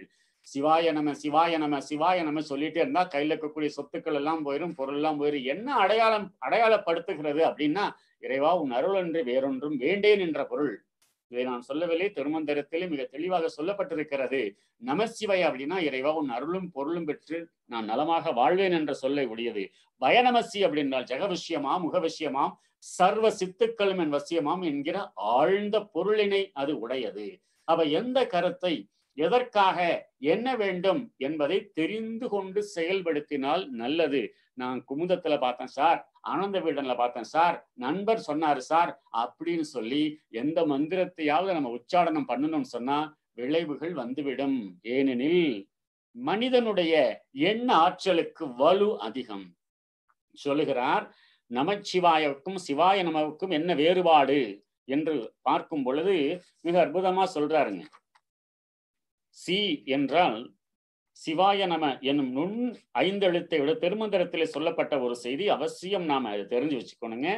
நம சிவாய என்னும் பரு ஐந்தெழுத்து மலன்களை முன்னால் வைக்கிறது. அதாவது சி என்பது சிவனை குறிக்கிறது வா என்பது அருளை குறிக்கிறது யா என்பது உயிரை குறிக்கிறது ந என்பது அறியாமையாகிய ஆணவத்தையும் ம என்பது மலங்களாகிய மாயை முதலிய அழுக்குகளையும் குறிக்கிறது. நல்லா புரிஞ்சுக்கணுங்க. சி வா ய ந ம. ஐந்தெழுத்து. சி என்பது சிவன் வா என்பது அருள் யா என்பது உயிர் நா என்பது அறியாமையாகிய ஆணவம் மா என்பது மலங்களாகிய மாயை. அப்ப எந்த எழுத்தை முன்னாடி வைத்தால் எந்த எழுத்தை பின்னாடி வைத்தால் என்ன விளைவு என்பது மிக தெளிவாக முன்னோர்கள் ஆராய்ச்சி செய்திருக்கிறார்கள் என்னும் ஐந்து எழுத்தில் சிவாய நம எனும் ஐந்து எழுத்தில் யா என்னும் உயிர் சி வா என்னும் சிவன் அருள் ஆகியவற்றுக்கும் ந ம என்னும் ஆணவம் மலங்கள் ஆகியவற்றுக்கும் இடையில் சிவன் அருள் உயிர் ஆணவம் மலங்கள் என்ற வரிசையில் நிற்கிறது. அப்ப சிவாய நம அப்படின்னு சொன்னா சிவனையும் அருளையும் முன்னாடி வைத்து விட்டு ஆணவ மலங்களை பின்னாடி வைக்கிறது. அதாவது சார்ந்து நிற்க தகுந்த பொருளுக்கும் சார்ந்து நிற்க தகாத பொருளுக்கும் இடையில் நிற்கிறது. இந்த பக்கம் சாய்ந்தாலும் சாயலாம். அந்த பக்கம் சாய்ந்தாலும் சாயலாம். பிடி நம்ம கையில தான் இருக்குதுங்க. இந்த பக்கம் சாய்ந்தால் சிவன் அருள் அந்த பக்கம் சாய்ந்தால் பிறவி பெருங்கடல் தவித்து நிற்கும் உயிர். தகுந்த கட்சியில் சேர்ந்தால் வம்பு வழக்குகள் வாராது அப்படின்னு சொல்றாங்க. இன்னும் அழகா சொல்றாருங்க. சி என்னும் இந்த இதற்கு சி என்று தனியாக ஒரு எழுத்து சி என்னும் பெருங்காரண ஐந்து எழுத்து சொல்றாங்க. இதை திருமூலர் நாயோட்டு மந்திரம்னு சொல்றார். அது என்னையா நாயோட்டு மந்திரம்? ஒரு நாய் வருது தெருவுல. சீ சீ சீன்னு சொல்றோம் இல்லைங்களா? அப்ப சீன் தானே ஓட்டுறோம்? நாய் ஓட்டு மந்திரம் நான்மறை நால் வேதம் நாய் ஓட்டு மந்திரம் நாதன் இருப்பிடம் நாய் ஓட்டு மந்திரம் நாதாந்தம் ஆம் சோதி நாய் ஓட்டு மந்திரம் நாம் அறியோமே நாயோட்டு மந்திரம் நாம் அறியோமே. சி என்கிற ஒரே ஒரு சொல் ஒரே ஒரு எழுத்து நாளும் நம்மில் இயங்குகிறதா? எங்கே நாம் வாங்கிவிடும் மூச்சான ஒளியான சி?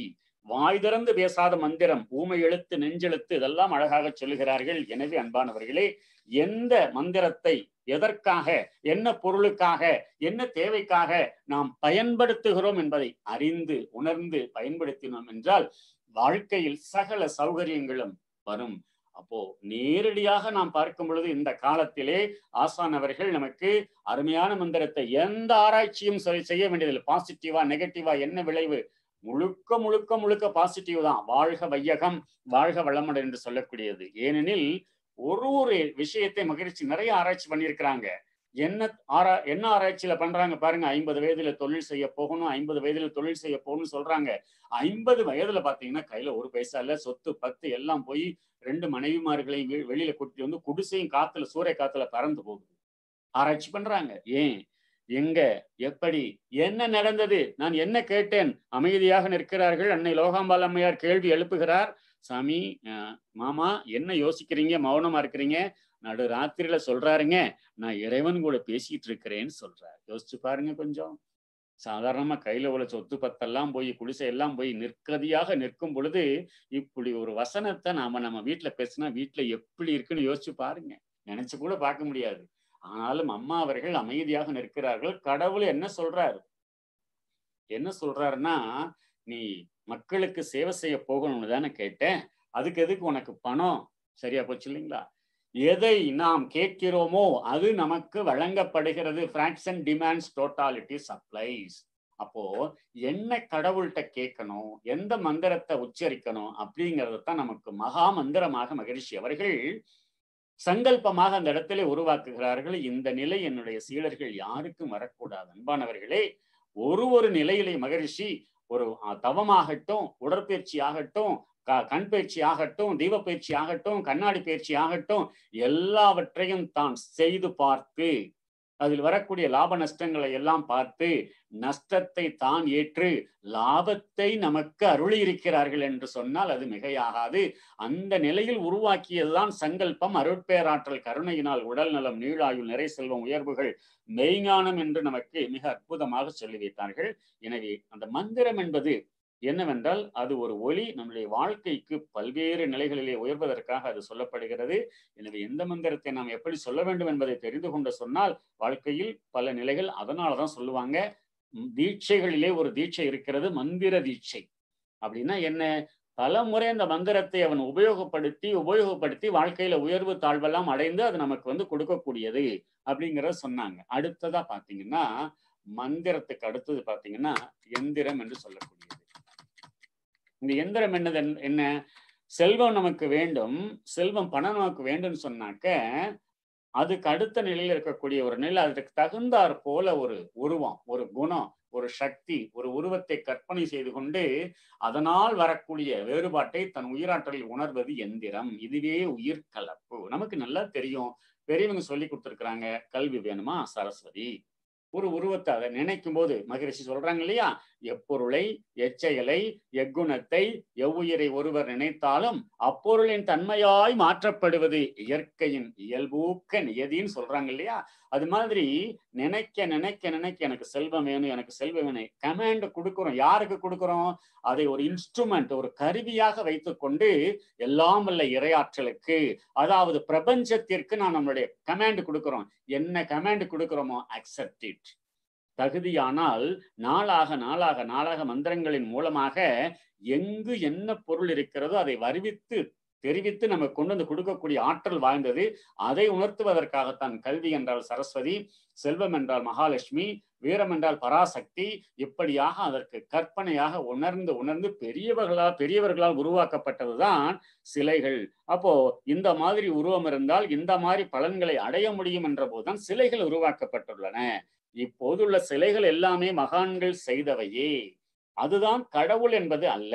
இப்போது மனத்தால் தனக்கு வேண்டியது வேண்டிய அளவுக்கு வேண்டியவாறு அதை உருவாக்கி செய்து கொண்டு அந்த பொருட்களை அந்த சக்தியை அடைவதற்கு அந்த சிலைகளை மனிதன் நம்புகிறான். ஒரு காலத்தில் அது உருவாக்கப்பட்டது இப்பொழுது தெய்வமாகவே மாறிவிட்டது. அப்போ எந்திரம் என்பது தன்னுடைய எண்ணத்திற்கு ஒரு வடிவம் கொடுத்துக் கொள்வது. எந்த வடிவம் கொடுத்தால் இந்த செல்கள் எல்லாம் அதிர்வு பெறும். செல்களுக்கு எப்படி அந்த அதிர் அதிர்வுகள் கொடுக்க முடியும் என்றும் அறிந்தனர். அப்போ வடிவம் கொடுக்கிறோம் என்றால் அங்கு ஒளி ஒளி வேண்டும்.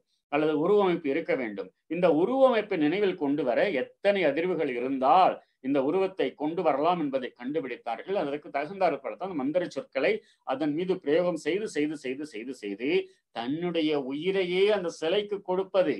தன்னுடைய உயிரையே அந்த சிலைக்கு கொடுத்து உயிராகவே மாற்றி அதை உயிருள்ள பொருளாகவே மாற்றக்கூடிய வல்லமை மனிதன் பெற்று பெற்று ஒரு மோல்டு மாதிரி உருவாக்குனாங்க. அதுதான் ஒரு இன்ஸ்ட்ருமெண்ட்னு சொல்லுவாங்க. எந்திரம். அது உலோகங்கள் பஞ்சலோகங்கள் தகடுகள் காப்பர். ஒரு சில மெட்டீரியல் பார்த்தீங்கன்னா செல்கள் எல்லாம் உயிர் செல் துகள்கள்ல இருந்து வரக்கூடிய ஆற்றலை வாங்கி கிரகித்து வைத்துக் கொள்ளும். அந்த கிரகித்து வைத்துக்கொண்டு மீண்டும் ரெஸ்பாண்ட் பண்ணும். அதற்காக அவங்க ஒரு சங்கல்பம் சொன்னாங்க. ஒரு ஆட்டோ சஜஷன் பிரேயர் ரெண்டையும் சொல்லி தனக்கு என்னென்னது வேண்டும். எதுல குறைபாடு இருக்குதோ அதில் தன்னிறைவு பெற வேண்டும் அப்படின்னு சங்கல்பம் செய்து அதை உயர்வு பெறுவதற்காக அவங்க வந்து அதையெல்லாம் கொண்டுட்டு வந்தாங்க. அடுத்ததா பாத்தீங்கன்னாக்க தந்திரம் சொல்லுவாங்க. இயற்கையின் ஆற்றலை உணர்ந்து வாழ்க்கையின் நலத்துக்கு வாழ்க்கையின் நலத்துக்கு பயனாகும் வகையில் சங்கல்பம் செய்து கொள்வது. இது என்னென்ன வேணும் அப்படிங்கிறத சொன்னாங்க பெரியவங்க அதற்கு தந்திரம் அந்த இன்ஸ்ட்ருமெண்ட் மறுபடியும் நாம சொல்லலாம். இல்லைங்களா? அப்போ பக்தி யோகம் என்பது ஆலய வழிபாட்டு முறைகள். இங்க எதுவுமே நம்ம குறைவாக எடுத்துக்கொள்வதற்காக இல்லை ஆராய்ச்சி பண்ணணும். மனதை பண்படுத்துவதற்கு உயர்ந்த நிலைக்கு செல்வதற்காக சில மனம் அதில் லயமாகுது இல்லைங்களா? அபிஷேக ஆராதனைகள் செய்யும் பொழுது அதற்காக முன்னோர்களால் ஒரு லெவல் வரைக்கும் இது தேவை. அப்ப ஆலயம் என்பது என்ன அப்படின்னா ஆன்மாவின் லயமே ஆலயம்.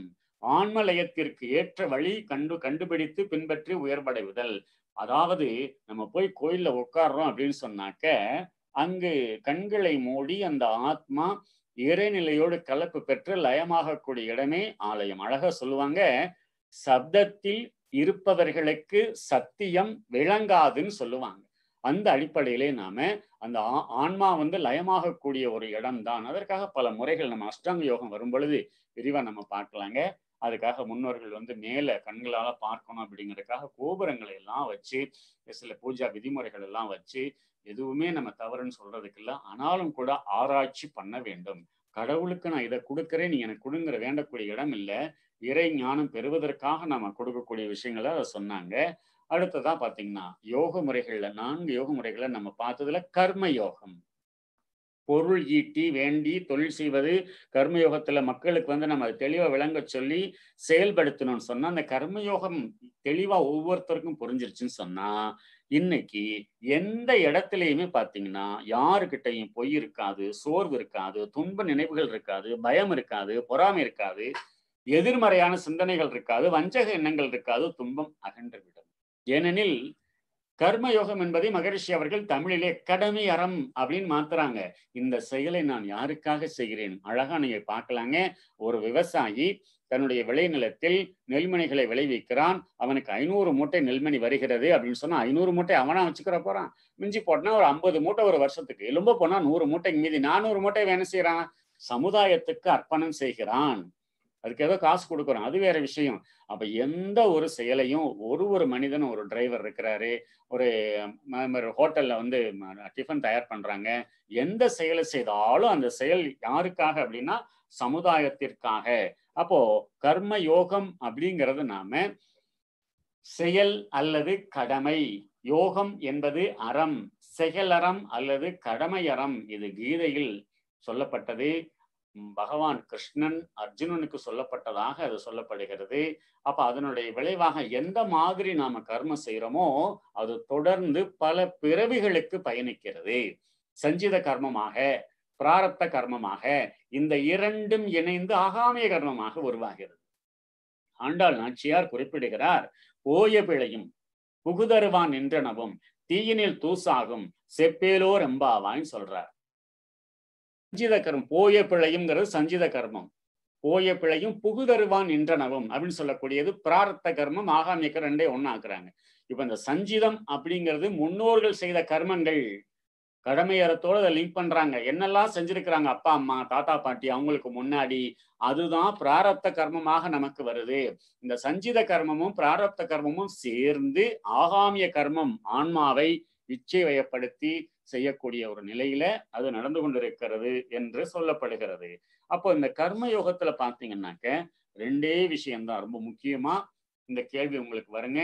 கடமையறத்தின் இரண்டு முக்கிய தத்துவங்கள் என்ன அப்படின்னா நன்றியுணர்வு விளைவறிந்த விழிப்பு. நன்றியுணர்வுனா என்னதுங்க?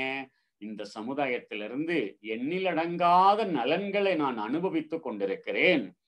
திருப்பி எல்லாத்தையும் சமுதாயத்துக்கு நம்ம செய்ய முடியுமா? சமுதாயத்திலிருந்து கிடைத்த எல்லா உழைப்புக்கும் நம்ம செய்ய முடியுமான்னா முடியாது. எவ்வளவு கொடுத்தாலும் தீராது. டியூன்னு சொல்லுவாங்க கடன் சொல்லுவாங்க. அப்ப அந்த கடன் டியூஇ டியூ தான் மகிழ்ச்சி சொல்றாங்க டியூட்டி அப்படின்னு வந்தது கடமையாக வந்தது அப்படிங்கறத மகிழ்ச்சி சொல்றாங்க. எனவேதான் நன்றியுணர்வோட செயல்படணும்.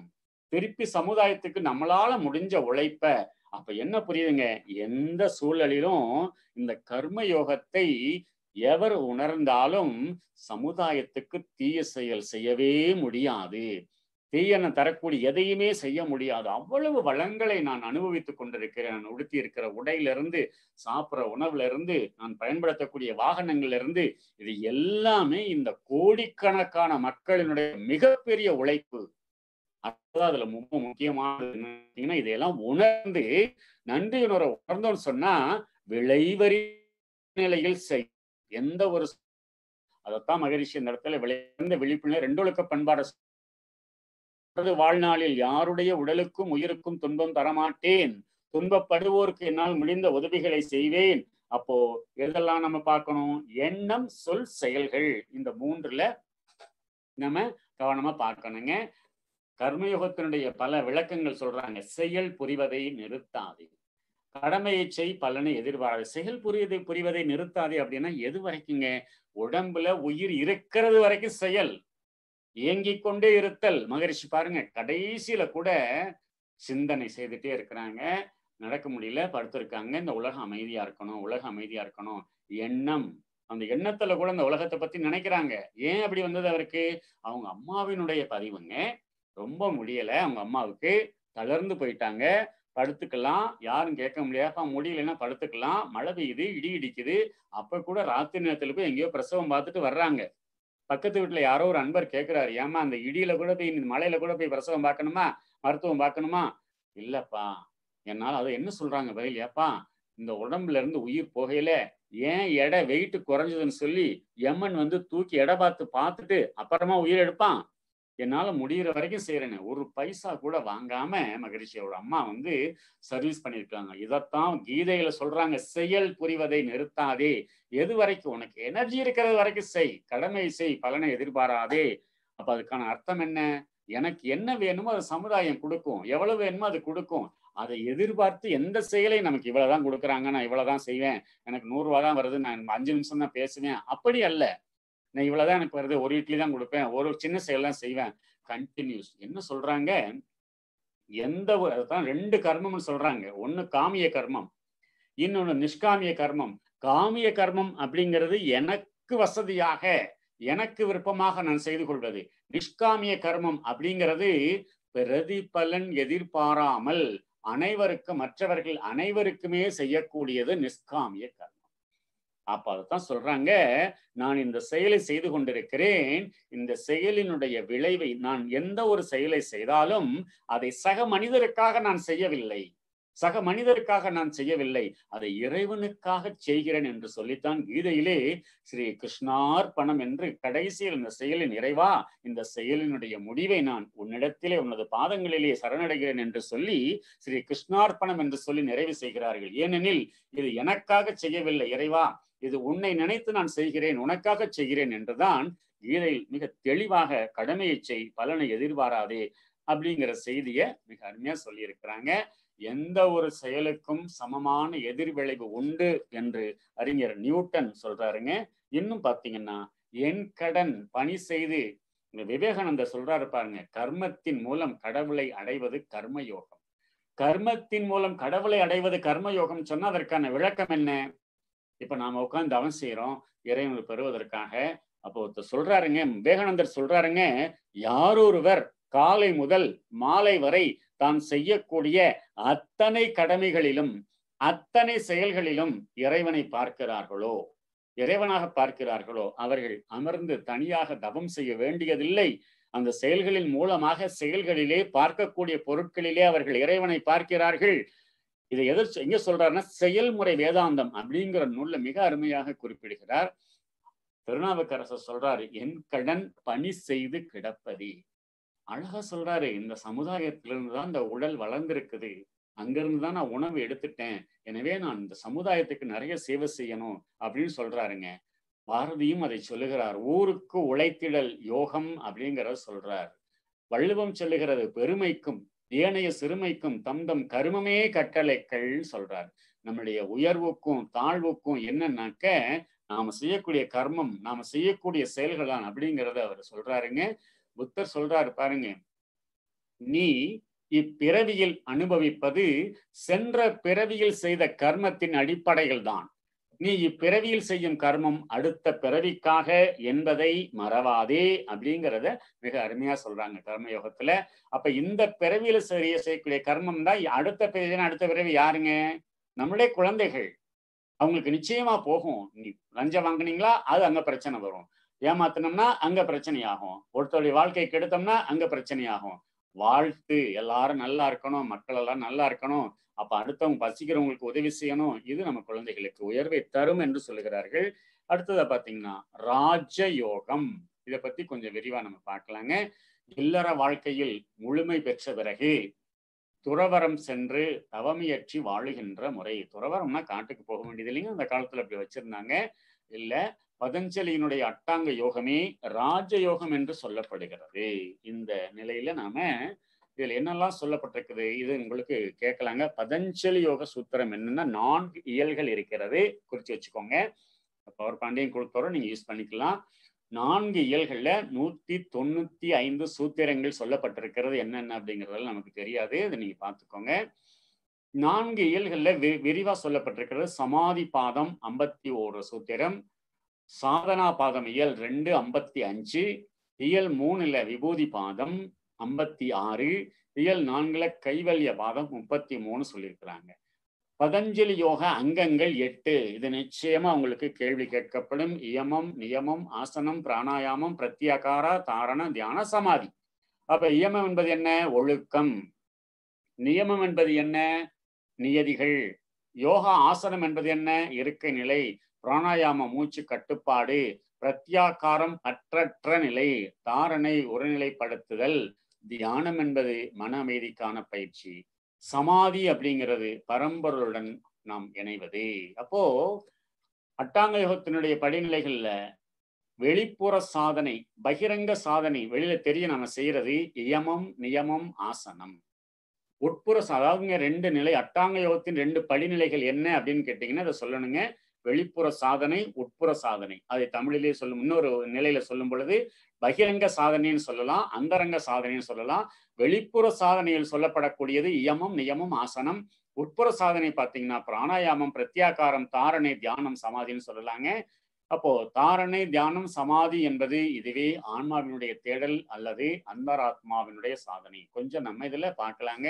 இயமம் என்பது எவைகளையெல்லாம் செய்ய வேண்டும்? எவைகளை எல்லாம் செய்ய வேண்டும் என்பது சொல்லப்படு சொல்லப்படுகிறது. நியமம் என்பது எவைகளையெல்லாம் செய்யக்கூடாது என்பது சொல்லப்படுகிறது. ஆசனம் ரொம்ப முக்கியமானதுங்க. அட்டாங்க யோகத்துல ஆசனம் இருக்க நிலை அப்படின்னா உதாரணமா ஒரு அரை மணி நேரமும் முக்கால் மணி நேரமும் நம்ம தவம் செய்யறோம் செய்ய போறோம் அப்படின்னா உடல் நமது கவனத்தை ஈர்க்கக்கூடாது. புரிஞ்சது? புரிஞ்சிருக்கும்னு நினைக்கிறேன். இப்ப சுகாசனத்துல அல்லது பத்மாசனத்துல அல்லது வஜ்ராசனத்துல உட்கார்ந்து நாம தவம் செஞ்சுட்டு இருக்கிறோம். பத்து நிமிஷம் ஆச்சு. ஆகணி தவம் செய்யறோம் திடீர்னு கெண்டைக்கால் சதை பிடிச்சிருச்சுன்னா நம்மளுக்கு மனம் எங்க போகுங்க? நேர காலுக்கு போயிடும் ஐயோ எப்படா தவம் முடிப்பான் கால் மாட்டிக்கிடுச்சே அதுக்கப்புறம் தவமே பண்ண முடியாது. அப்போ நீங்க அரை மணி நேரமோ முக்கால் மணி நேரமோ ஒரு மணி நேரமோ உட்கார்ந்து தவம் செய்றீங்கன்னு சொன்னா உடல் உங்களுடைய கவனத்தை ஈர்க்கக்கூடாது எந்த ஆசனத்தில் உட்கார்ந்தாலும் உடலுக்குள்ளாராக இரத்த ஓட்டம் வெப்ப ஓட்டம் காற்றோட்டம் உயிரோட்டம் ஒரே சீராக தடையில்லாமல் குழப்பம் இல்லாமல் எங்கும் நிற்காமல் இயல்பாக ஓடிக்கொண்டிருத்தல். இதற்கு இந்த தவத்திற்கு முதலாவதாக உடலை தயார்படுத்துதல் அவசியம். என்பானவர்களே நான் நேரடியாக பிராக்டிக்கலாக பார்க்கக்கூடியது நிறைய அன்பர்கள் வர்றாங்க உடம்புல பிரச்சனை இருக்குதுங்க. அப்ப நான் கேட்கக்கூடியது உடற்பயிற்சி செய்யறீங்களான்னா இல்லை. செய்யறவங்களை கேட்டா சரியா செய்யலை. அப்ப முதல்ல நம்ம தவம் செய்யணும் அப்படின்னா அதற்கான தகுதி என்ன அப்படின்னா உடலை வளமாக வைத்துக் கொள்ளுதல் உடற்பயிற்சி அவசியம். நீங்க பதினஞ்சு நிமிஷம் தவம் செஞ்சாலும் போதுங்க. ஏனெனில் அட்டாங்க யோகத்துல குறிப்பிடக்கூடியது இந்த இயமம் நியமம் ஆசனம் பிராணாயாமத்தை ஃபாலோ பண்ணாம தியானத்துக்குள்ள போக முடியாது. இந்த படிநிலைகள் வழியாகத்தான் நாம் என்ன செய்ய வேண்டும்? சென்று ஆக வேண்டும். அப்போ ரத்த ஓட்டம் வெப்ப ஓட்டம் காற்றோட்டம் உயிரோட்டம் சரியாக உடம்புல ஓடுறதுக்கு இந்த ஆசனம் சொல்லப்பட்டிருக்கிறது. அதன் பிறகு தவத்துல தூக்கம் வராம இருக்கணும்னு சொன்னா பிராண சக்தியை அதிகமாக வைத்துக் கொள்வதற்கு பிராணாயாமம் பிராணனை இருந்து உள்ளே வாங்கி நிறுத்தக்கூடிய பயிற்சியை அது ரொம்ப முக்கியமாக சொல்லப்பட்டிருக்கிறது. பிரத்யாகாரம் பற்றற்ற நிலை வாழ்ந்து கொண்டிருக்கிறோம். எந்த பொருளும் என்னுடையதல்ல. எல்லாமே இறைவனுடையது. சகல பொருட்களையும் நாம் அனுபவிக்கலாம் அப்படிங்கிற ஒரு நிலைக்கு மனதை தயார்படுத்துதல். தாரணை அப்படின்னு சொன்னா ஒரு நிலைப்படுத்துதல். தட் மீன்ஸ் கான்சன்ட்ரேஷன் அப்ப கான்சன்ட்ரேஷன்னா என்னதுங்க? கண்களை ஒரு நேரத்தில் கண்களை திறந்து கொண்டு ஒரு பொருளின் மீதே மனதை நிலை நிறுத்த பழக்குதல். ஒரு மேக்ஸ் போட்டே இருக்கிறாங்க. அந்த பையன் எழுதிட்டே இருக்கிறான். டிவி ஓடுது அப்பா அம்மா சண்டை போட்டிருக்காங்க. அந்த பக்கம் குக்கரை சத்தம் கேட்குது லாரி போகுது. பஸ் போகுது. எல்லாமே நடந்துட்டே இருக்குது. ஆனா அவன் மட்டும் அந்த கணக்கு பழுந்து போயிட்டு இருக்கிறான் இந்த சண்டை லாரி போறது டிவி ஓடுறது எதுவுமே அவனுக்கு தெரியல. நேரம் ஆக ஆக அதுல லயித்து கொண்டு சென்று கொண்டிருக்கிறான். இதுக்கு பேரு தாங்க தாரணை. ஒரு நேரத்தில் ஒரு பொருள் மீது லயமாகுதல். இதைத்தான் நமக்கு ஆலய வழிபாடுகள்ல மிக அருமையாக முன்னோர்கள் கொடுத்தாங்க. அங்க வந்து பாத்தீங்கன்னா தீபாராதனை காட்டினாங்க பெல் அடிச்சாங்க பத்தி ஏத்துனாங்க இன்னும் அபிஷேகம்லாம் பண்ணாங்க பிரசாதம் கொடுத்தாங்க. இது எல்லாமே எதற்காக அப்படின்னு பாத்தீங்கன்னா இறைவனுக்காக அல்ல. தீப ஆராதனை காண்பிக்கப்படும் பொழுது உனது கண்கள் இறைவன் பக்கம் இருக்கட்டும். ஆலயத்தில் மணியோசை கேட்கும் பொழுது உனது செவிபுலன் இறைவன் பக்கம் இருக்கட்டும். பிரசாதம் சாப்பிடும் பொழுது சுவைபுலன் கருவி இறைவன் பக்கம் இருக்கட்டும். இப்படி வாசனை திரவியங்கள் ஏற்றி வைக்கப்படும் பொழுது வாசனை புலன் கருவி இறைவன் பக்கம் இருக்கட்டும். நீங்கள் நன்றாக கூர்ந்து கவனித்தீர்கள் என்றால் இந்த ஐந்து புலன்களுக்கும் அனைத்து சமய வழிபாடுகளிலும் முறை உண்டு. அது கிறிஸ்தவமாக இருக்கலாம் இஸ்லாமாக இருக்கலாம் இந்து சமயமாக இருக்கலாம் ஜெயின் டெம்பிளா இருக்கலாம் எங்க போய் பார்த்தீங்கன்னா ஐந்து புலன்களும் சங்கமமாக வேண்டும். மகிழ்ச்சி சொல்றாங்க இதெல்லாம் எதற்காக அப்படின்னா கடவுளை வணங்கும் போது கருத்தனை உற்றுப்பார் கடவுளே கருத்தாய் காட்சியாய் காண்பாய் அங்கே. அதன் பிறகுதான் ஆலயத்திலே சென்று வலம் வந்து ஒரு நல்ல இடத்தை தேர்வு செய்து அமைதியாக உட்கார்ந்து கண்களை மூடி பார்த்தது எது? கேட்டது எது? ருசித்தது எது? முகர்ந்தது எது? என்று கடந்து உள்ளே போகக்கூடிய நிலையே கடவுள் மகர்ஷி சொல்றாங்க. நம்ம ஏற்கனவே ஒரு விளக்கம் பார்த்தோம் அல்லவா? ஆன்மா லயமாகக்கூடிய இடம் ஆலயம். ஆன்மீகம் என்றால் ஆன்மாவை அறிந்து கொள்ளக்கூடிய ஒரு இடம் ஆலயம். எது ஆன்மா அப்படின்னு அறிந்து கொள்ளக்கூடிய ஒரு இடம். இந்த நிலையில் தொடர்ந்து பழக பழக பழக பழக ஆதி நிலையோடு சமமாக கூடிய ஒரு நிலைதான் சமாதி. மைண்ட் வேவ் லென்த் டெல்டா ஸ்டேட்டுக்கு போய் ஒண்ணுங்கிற நிலைக்கு பிராக்டிஸ் பண்ண பண்ண பண்ண வந்துருங்க. அதுதான் பார்த்தீங்கன்னாக்க சமாதி நிலை பரம்பொருளுடன் இணைந்து விடுதல் அப்படிங்கிற ஒரு நிலையை நாம பார்க்க முடியும். அப்போ தாரணை தியானம் சமாதி இதுவே ஆன்மாவினுடைய தேடல் அல்லது அந்தராத்மா சாதனை அப்படின்னு சொல்லுவாங்க. இயமம் ஐந்து அப்படின்ற அப்படிங்கிறத சொன்னாங்க. என்னென்னது? கொல்லாமை. எவரையும் காயப்படுத்தக்கூடாது அப்படிங்கிறது சொல்லப்பட்டிருக்குது. வாய்மை உண்மையாக இருக்க வேண்டும். இயமம் என்னென்ன இது கண்டிப்பா இயமத்தை பற்றி எழுதிய ரெண்டு மார்க் கேள்வியில உங்களுக்கு கேட்கலாம். வாய்மை உண்மையாக இருத்தல் களவாடாமை பிறர் வளம் பறிக்காமை இளமை நோன்பு பிரம்மச்சரியம் ஆன்மீக இயல் பேராசையின்மை இதெல்லாமே போட்டிருக்கிறாங்க. நம்ம அதை படிச்சு சரி பண்ணிக்கணுங்க. ஐந்து நியமங்கள் சொல்லப்பட்டிருக்கிறது. ஐந்து சுய கட்டுப்பாடுகள். மன தூய்மை மன நிறைவு எளிமை தன்னறிவு இறைப்பற்று இதெல்லாம் சொல்லப்பட்டிருக்குது. அதே போல ஆசனம்ங்கிறது யோகாவினுடைய மூன்றாவது பகுதி திடமான தன்மை ஆரோக்கியம் கைகால்களுக்கு இலகுவான அசைவுகள் திடமான மற்றும் இனிமையான தோற்றம் மனதில் சமநிலை மனச்சலனங்கள் இல்லாமல் தெளிவாக இருக்கக்கூடிய ஒரு நிலை அங்கு குறிக்கப்பட்டிருக்கிறதுங்க. அதெல்லாம் தவிர்த்துக்க முடியும். இதெல்லாம் வந்து பாத்தீங்கன்னா ஆசனத்துல சொல்லப்பட்டிருக்குது. இன்னும் நோக்கங்கள் உடலில் உடலுக்கு அழகான வலிமையான வெளித்தோற்றம் உடலினுடைய உள்ளுறுப்புகள் செம்மையாக இயக்கம் பெறுவதற்கு நோய் எதிர்ப்பு சக்திக்கு இதெல்லாம் சொல்லப்பட்டிருக்குது. ஏழு நிலைகள் இது முக்கியமா ஒரு கேள்வி உங்களுக்கு கண்டிப்பா வருங்க. ஆசனங்களுடைய ஏழு நிலைகள் என்ன அப்படிங்கிறது பார்க்கணும். தயார்படுத்துதல் ப்ரிப்பரேட்ரி இது உங்களுக்கு ப்ராக்டிக்கல் வரல ரொம்ப விரிவா சொல்லுவாங்க. நின்ற நிலை உட்கார்ந்த நிலை கவிழ்ந்த நிலை மல்லாந்து செய்யக்கூடிய நிலை தலைகீழாக நின்று செய்யக்கூடிய நிலை கடைசியாக ஓய்வு நிலை. தயார் நிலை ஒன்று நின்ற நிலை ரெண்டு மூன்றாவதாக உட்கார்ந்த நிலை செய்யக்கூடியது கவிழ்ந்த நிலை செய்யக்கூடியது மல்லாந்த நிலையில தலைகீழ் நிலை ஓய்வு நிலை. இந்த ஏழு நிலை ரொம்ப முக்கியம். பயன்கள் நிறைய சொல்லலாம். இதெல்லாம் நம்ம மனப்பாடம் பண்ண வேண்டியதில்லை. இரத்த ஓட்டம் காற்றோட்டம் ஆகியவை சீரடையும். வெப்பமும் குளிர்ச்சியும் சமநிலை அடையும். வளமான உடல் நலத்தை பெற உதவுதுங்க. இவ்வளவு இதனுடைய நன்மைகளை நம்ம பார்க்க முடியும். பாருங்க அடுத்ததாக பிராணாயாமம். பிராணாயாமம் அப்படிங்கிறது மூச்சை ஒரு குறிப்பிட்ட அளவுக்கு உள்ள இழுத்து ஒரு குறிப்பிட்ட அளவு நிறுத்தி குறிப்பிட்ட அளவு வெளியில விடுறதுங்க.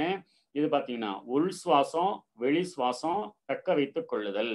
உள் சுவாசம் அப்படிங்கிறது மூச்சை உள்ளெழுத்தல். அதாவது பிராணா அப்படின்னா மூச்சு சுவாசம் வாழ்க்கை உயிர் சக்தி காற்று சக்தி அல்லது வலிமை என்று பொருள். கட்டுப்படுத்துதல் என்பது சுவாசத்தினுடைய அனைத்து செயல்பாடுகள் மீது இது சொல்லப்படுகிறது. அப்போ அது பூரகம்னு சொல்றது. மூச்சை உள்ள இழுத்தல் வந்து பூரகம்.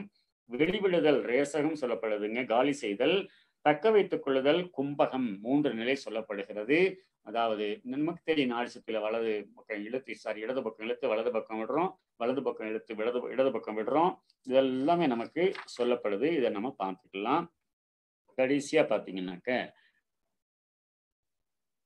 ஞான யோகம் அப்படிங்கிறது பிரத்யாகாரம் தாரணை நம்ம பார்த்துட்டோம். ஐம்புலன்களையும் கட்டுக்குள் கொண்டு வந்து செம்மைப்படுத்தி நல்வழியில் வைத்ததற்கான பயிற்சி ஆலய வழிபாடுகளில் சொல்லப்படுது நான் சொன்னேன் உங்களுக்கு. தாரணை அப்படிங்கிறதான் மனம் ஒருமுகப்படுத்துவதற்கான முழு ஈர்ப்பு இந்த ஆலய வழிபாட்டின் மூலமா நம்ம பார்த்தோம்.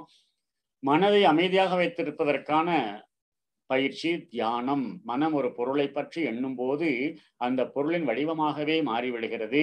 தியானத்தின் மூலம் பணிவு என்பது கைகூடும். இதெல்லாம் சொல்லப்பட்டிருக்குதுங்க. சமாதி நிலை. யோக பயிற்சியாளர் தேடுதலினுடைய கடைசி நிலை தியானத்தினுடைய உச்சக்கட்டம் ஆனந்தமய ஆனந்தமயமான நிலை இது மனநிலையில் ஆனந்தமய கோஷம் ஐந்தாவது நிலையில் சொல்லப்படுகிறது. அன்னமய பிராணமய மனோமய விஞ்ஞானமய ஆனந்தமயம் என்று சொல்லக்கூடிய அந்த நிலையை சென்றடைந்து விட்டால் நிறைவு பெறுகிறது ஆத்மான்னு சொல்லுவாங்க. உறக்கத்தில் இருப்பது போல் உடலும் புலன்களும் ஓய்வாக இருக்கக்கூடிய நிலை. உறக்கத்தில் இருப்பது போல் உறக்கத்தை தியானம்ங்கிறது உறக்கமல்ல விழிப்பு நிலை அதுக்கு அடுத்தது உறக்கம். உறக்கத்தை தாண்டித்தான் நம்ம அந்த நிலைக்கு த தவ நிலைக்கு போக முடியும். ஆழமான அமைதி எனும் ஆனந்த நிலை சொல்லுவாங்க. இதுவே சமாதி நிலை அப்படின்னு சொல்றாங்க. அடுத்ததா பாத்தீங்கன்னா ஞான யோகம். ஞான யோகம் என்ன சொல்லுதுன்னா இறையுடன் இயற்கையுடன் இணைதலே. அறிவை அறிந்த தெளிவு என்பது சிறப்பான விளக்கம். சிற்றறிவு பேரறிவோடு கலக்கக்கூடிய கலந்து நிறைவு பெறக்கூடிய ஒரு நிலைன்னு சொல்லலாங்க.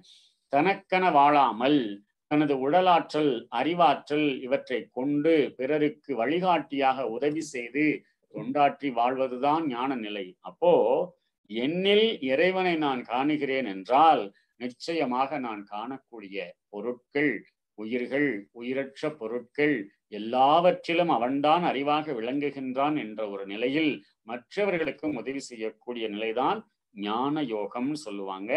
அந்த ஞான யோகங்கிறது இறைநிலை குண்டலினி யோகத்தின் மூலமாக அது சாத்தியமாகும். பொருட்களால் உடலும் காமத்தால் குடும்பமும் அறத்தால் சமுதாயமும் தத்துவ ஞான விளக்கத்தினால் சமாதான வாழ்வும் ஆக்கவும் காக்கவும் பெறுகின்றன. எனவே வாழ்வில் ஞானம் என்பது இடம்பெறும் அளவிற்கே நமக்கு சிறப்பமும் சிறப்பும் இன்பமும் அமைதியும் ஏற்படுகிறதுன்னு சொல்லுவாங்க நிறைவாக நாம் இப்ப பார்க்க போறது ஹடயோகம். ஹ என்றால் சூரியன் சொல்லுவாங்க. ட என்றால் சந்திரன் சொல்லுவாங்க. ஹடயோகம்னாக்க சக்தி மற்றும் உறுதி உடலை உறுதி செய்வதற்காக செய்யக்கூடிய பயிற்சி. நோக்கம் என்ன? அந்த ஹடயோகத்தினுடைய நோக்கம் என்னன்னு பார்த்தோம்னா மனித உடலில் சூரிய சந்திர சக்தி பாய்வதை சமன் செய்தல். ஒன்று அதிகமா ஒன்று கம்மியா இருக்கக்கூடியது. நீங்க நல்லா நீங்க கவனிச்சு பார்த்தீங்கன்னா எப்பவுமே ரெண்டு மூக்கிலுமே சுவாசம் ஓடாதுங்க. ஏதாவது ஒரு மூக்கில் தான் ஓடணும். வலது பக்கம் ஓடும் இல்லைன்னா இடது பக்கம் ஓடும். வலது பக்கம் உடையில சூரிய சக்தி இடது பக்கம் உடையில சந்திர சக்தி. வலது பக்கம் அப்பாவினுடைய உயிர் இடது பக்கம் அம்மாவினுடைய உயிர் மாறி மாறி மாறி வந்திருக்குங்க. அதை நம்ம பார்க்க முடியும். இதை வந்து நம்ம பிராணாயாமத்தின் மூலமாக சரி செய்து கொள்ள முடியும். இந்த ஹடயோகமானது மனதில் ஏற்படக்கூடிய எண்ணங்களை கட்டுப்படுத்துகிறது. எண்ண ஓட்டத்தை குறைத்து அதை சீரமைக்கிறது. அதன் மூலமாக ஆத்ம தரிசனத்துக்கு நமக்கு ரொம்ப சப்போர்ட் பண்ணுதுங்க. எண்ண அலைகள் பிராணன் மற்றும் அபானனால் உருவாகிறது. என்ன அலைகளானது வேகமாகவோ அல்லது மெதுவாகவோ ஓடுகிறது. அதாவது தமோ குணம் என்ன அலையானது? சோம்பல் தன்மை அலட்சியம் உடலை சம்பந்தப்படுத்தி வரும். தமசையில இந்த மாதிரி தூக்கமெல்லாம் சிரமங்கள்லாம் வரும். அப்ப இந்த அடயோகம் பண்ணும் பொழுது அதெல்லாம் சரியாகுதுன்னு சொல்றாங்க. அடயோகம்ங்கிறது ஒண்ணு இல்லைங்க. மூச்சை வந்து சமன் செய்வது. எதையுமே இதுல வந்து அடக்கிறது இல்லை அதாவது அறிந்து அதை நிர்வகிக்கக்கூடிய ஒரு நிலைதான் சொல்றாங்க பெரியவங்க. இதில் நம்ம உடம்புல பார்த்தீங்கன்னா மூளை இருக்குது உடல் இருக்குது. வலது பக்க மூளை இடது பக்க உடல் கருவிகளையும் இடது பக்க மூளை வட வலது பக்க உடல் கருவிகளையும் இயக்குகிறது. இதை நமக்கு வந்து பார்த்தீங்கன்னாக்க எந்த ஒரு விஷயத்தை ஆராய்ஞ்சு முடிவு எடுக்கணும்னு சொன்னால் வலது வலது மூளையினுடைய முக்கியமான பணியாகுங்க. அப்போ ஒன்னொன்னே நம்ம கவனிக்க வேண்டியது இந்த அடையோகம் செய்யும் பொழுது பார்த்தீங்கன்னா சுவாசமானது நம்ம இடது பக்கம் இழுத்து வலது பக்கம் விட்டு மீண்டும் வலது பக்கம் இழுத்து இடது பக்கம் விடும் பொழுது பேலன்ஸ் பண்ணப்படுதுங்க. இந்த சுவாசம் அப்படிங்கிறது இடநாசி வலநாசியும் சரி ஒவ்வொரு முப்பது நிமிடத்திலிருந்து ஒரு மணி நேரத்துக்குள்ளாராக சுவாசம் இருந்தாலும் சரி.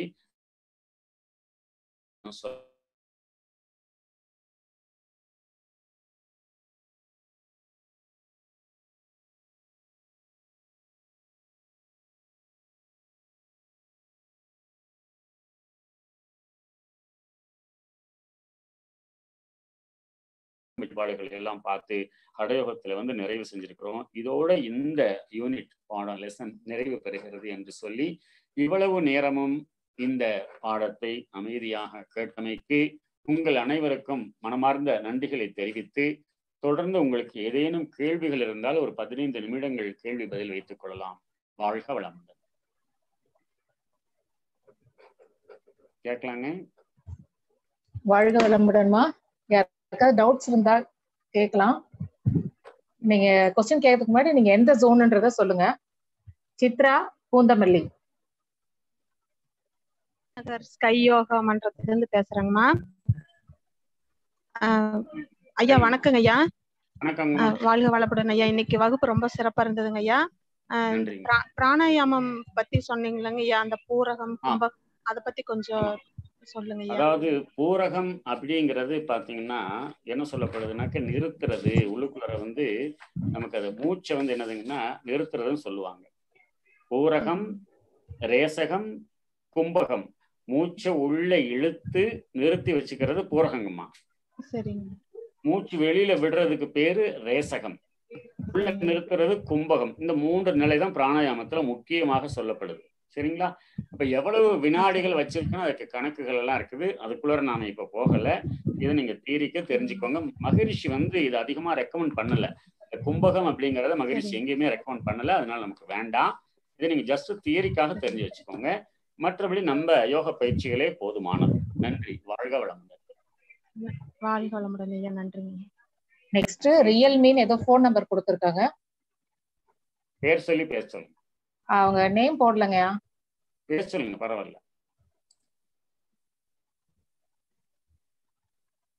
ஹலோ இணைப்புல இருக்கீங்களா? லைன்ல இருந்து போயிட்டாங்கய்யா. நெக்ஸ்ட் அகஸ்தியன்.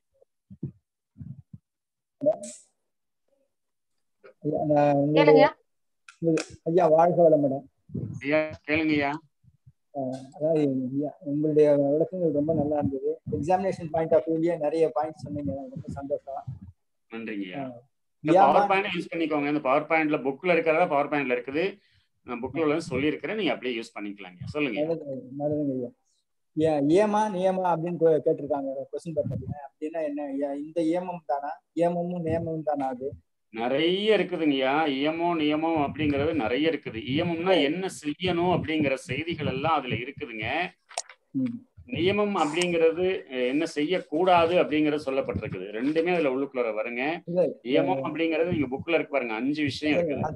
வாய்மை களவாடாமை இளம் நிறைய இருக்குது. எக்கச்சக்கம் இருக்குது. எல்லாத்தையும் நமக்கு கொடுக்க முடியாது. அளவு மட்டும் நம்ம கொடுத்துருக்குறோங்கய்யா சரிங்களா? நான் கேட்டிருக்க சந்தேகம் இயாமா நியாயமா நியாமா அப்படின்னு கொடுத்துருக்காங்க கொஸ்டின் பேப்பர்ல அவ்வளவுதான்.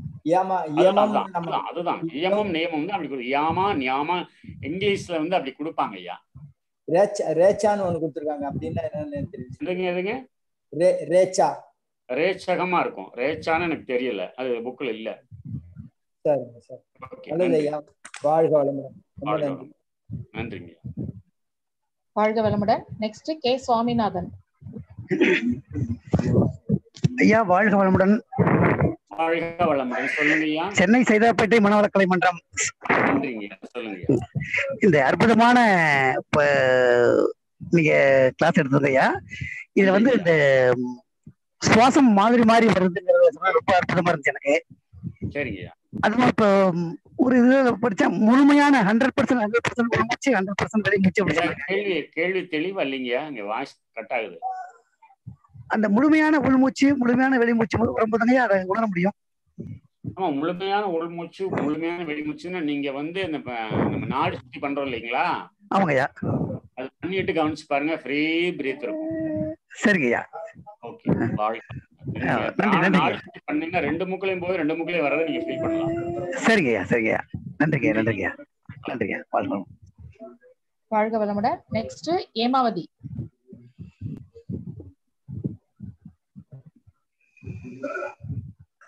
வாழ்க வளமுடன் ஐயா. அம்மா சொல்லுங்கம்மா. வாழ்க வளமுடன். ஐயா பாட விளக்கங்கள்லாம் ரொம்ப அருமையா இருந்தது ஐயா. ரொம்ப எங்களுக்கு யூஸ்ஃபுல்லா இருந்தது. ஐயா ஒரு நீங்க சொன்னதுல கொஞ்சம் ஒரு பாடல் மட்டும் எனக்கு எழுதிக்கணும்னு தோணுது ஐயா. பிறவி தொடர் வினைகள் பத்தி நீங்க சொன்னீங்கல்ல சஞ்சீத கர்மா. அதுல வந்து பேய பிழையும் அப்படின்னு ஒரு பாடல். அதாவது இல்ல அது வந்து திருப்பாவை ஆண்டாள் ஓ மார்கழி திங்கள் மதிய நிறை நன்னாளில்ங்கிற பாட்டுல வரும். போய பிழையும்.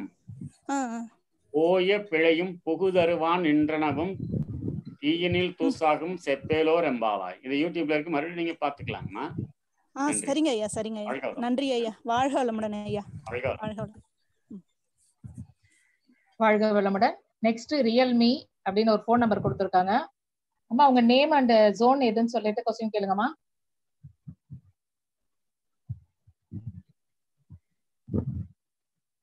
அம்மா கேக்குறீங்களா? இணைப்புல இல்ல. அம்மா கொஞ்சம் சவுண்டா பேசுங்க. ஹலோ வாழ்க வளமுடன் ஐயா. உங்க நேம் ஜோன் நேம் சொல்லுங்கம்மா. சொல்லுங்க. ஹலோ. அம்மா சொல்லுங்கம்மா. ரேவதி. ரேவதி ஐயா ஜாஃபர்கான்பேட் மன்றம். சொல்லுங்க. ஹலோ கேளுங்கம்மா. வாழ்க வளமுடன் ஐயா. இன்னைக்கு இந்த ஃபர்ஸ்ட் லெசன் நடத்தது ரொம்ப அருமையா இருந்ததுங்க ஒன்னொன்னும் நீங்க கொடுத்த அந்த விளக்கம் வந்து ரொம்ப அருமையா அந்த லெசனை நானும் மூணு நாளா ரீட் பண்ணிக்கிட்டே இருக்கேன். மைண்ட்ல ஏறல. ஆனா நீங்க இந்த இந்த டைம்ல நீங்க எடுத்த அந்த பாடத்தோட நன்றி வளமுடன் நன்றி. ஐயா வாழ்க வளமுடன். நன்றிங்கம்மா. வாழ்க வளமுடன். நன்றி நன்றி. வாழ்க வளமுடன். வாழ்க வளமுடன். நெக்ஸ்ட் தவச்செல்வி. ஹலோ அம்மா இணைப்புல இருக்கீங்களா? கேட்கலாங்க அம்மா எந்த ஜோனுன்னு சொல்லிட்டு கொஸ்டின் கேளுங்கம்மா. தவச்செல்வி அம்மா. ஜாபர் கான்பேட்டுங்க ஆ, ஜாபர் கேளுங்கம்மா. கான்பேட்ல இருந்து தவச்சொல்லி பேசுறேன். ஆஹ் ஐயா. இன்னைக்கு. அவங்க சொன்ன மாதிரிதான் இந்த யோகம் தோற்றம் வந்து நானும் படிச்சு படிச்சு பார்த்தா சுத்தமா புரியல. நீங்க நடத்தின விதம் எல்லாமே ரொம்ப நல்லா இருந்ததுங்க ஐயா. ஹடயோகம் மட்டும் சரி ஐயா. ஹடயோகம் ரொம்ப சிம்பிள் தாங்க. அதாவது ஒரே விஷயம் தான் அதுல. ஹடயோகம்ங்கிறது ஹானா சூரியன் தானா சந்திரன். இத வச்சு நீங்க விரிவா எழுதலாங்க. விரிவா பெரிய அளவுல எழுதலாம். நீங்க எழுதுறதுதான் அதுல. சரிங்களா? அது இடகலை பிங்களை ரெண்டே பேலன்ஸ் பண்ணா சுழுமுனை நாடி மேல ஓபன் ஆகும். இதுக்கான ஒரு விஷயத்தை தான் ஹடயோகத்துல சுருக்கமா நீங்க புரிஞ்சுக்கணும் ஓகேங்களா? அப்ப அதுல வந்து என்ன சொல்லப்படுதுன்னா சூரிய சக்தி சந்திர சக்தி. சூரியன்னா அப்பா சந்திரன்னா அம்மா. இந்த ரெண்டு உயிராற்றலை கலந்து தான் நம்ம பிறப்பு எடுத்து வந்திருக்கிறோம். அப்ப அதைத்தான் ஹடயோகத்துல ஐயா. அது மட்டும் கொஞ்சம் புரியாம இருந்தது. ரொம்ப நன்றிங்க ஐயா. வாழ்க வளமுடன். நன்றிங்கம்மா. வாழ்க வாழ்க வளமுடன். நெக்ஸ்ட் மின்னொலி. வாழ்க வளமுடன் ஐயா. சொல்லுங்கம்மா. இந்த வகுப்பு எனக்கு ரொம்ப பயனுள்ளதா இருந்தது ஐயா. நானும் ரொம்ப தெளிவற்ற நிலையில தான் இருந்தேன். இதெல்லாம் படிச்சு படிச்சு எல்லாமே நல்லா தெளிவாக்கினீங்க ஐயா. ரொம்ப நன்றி.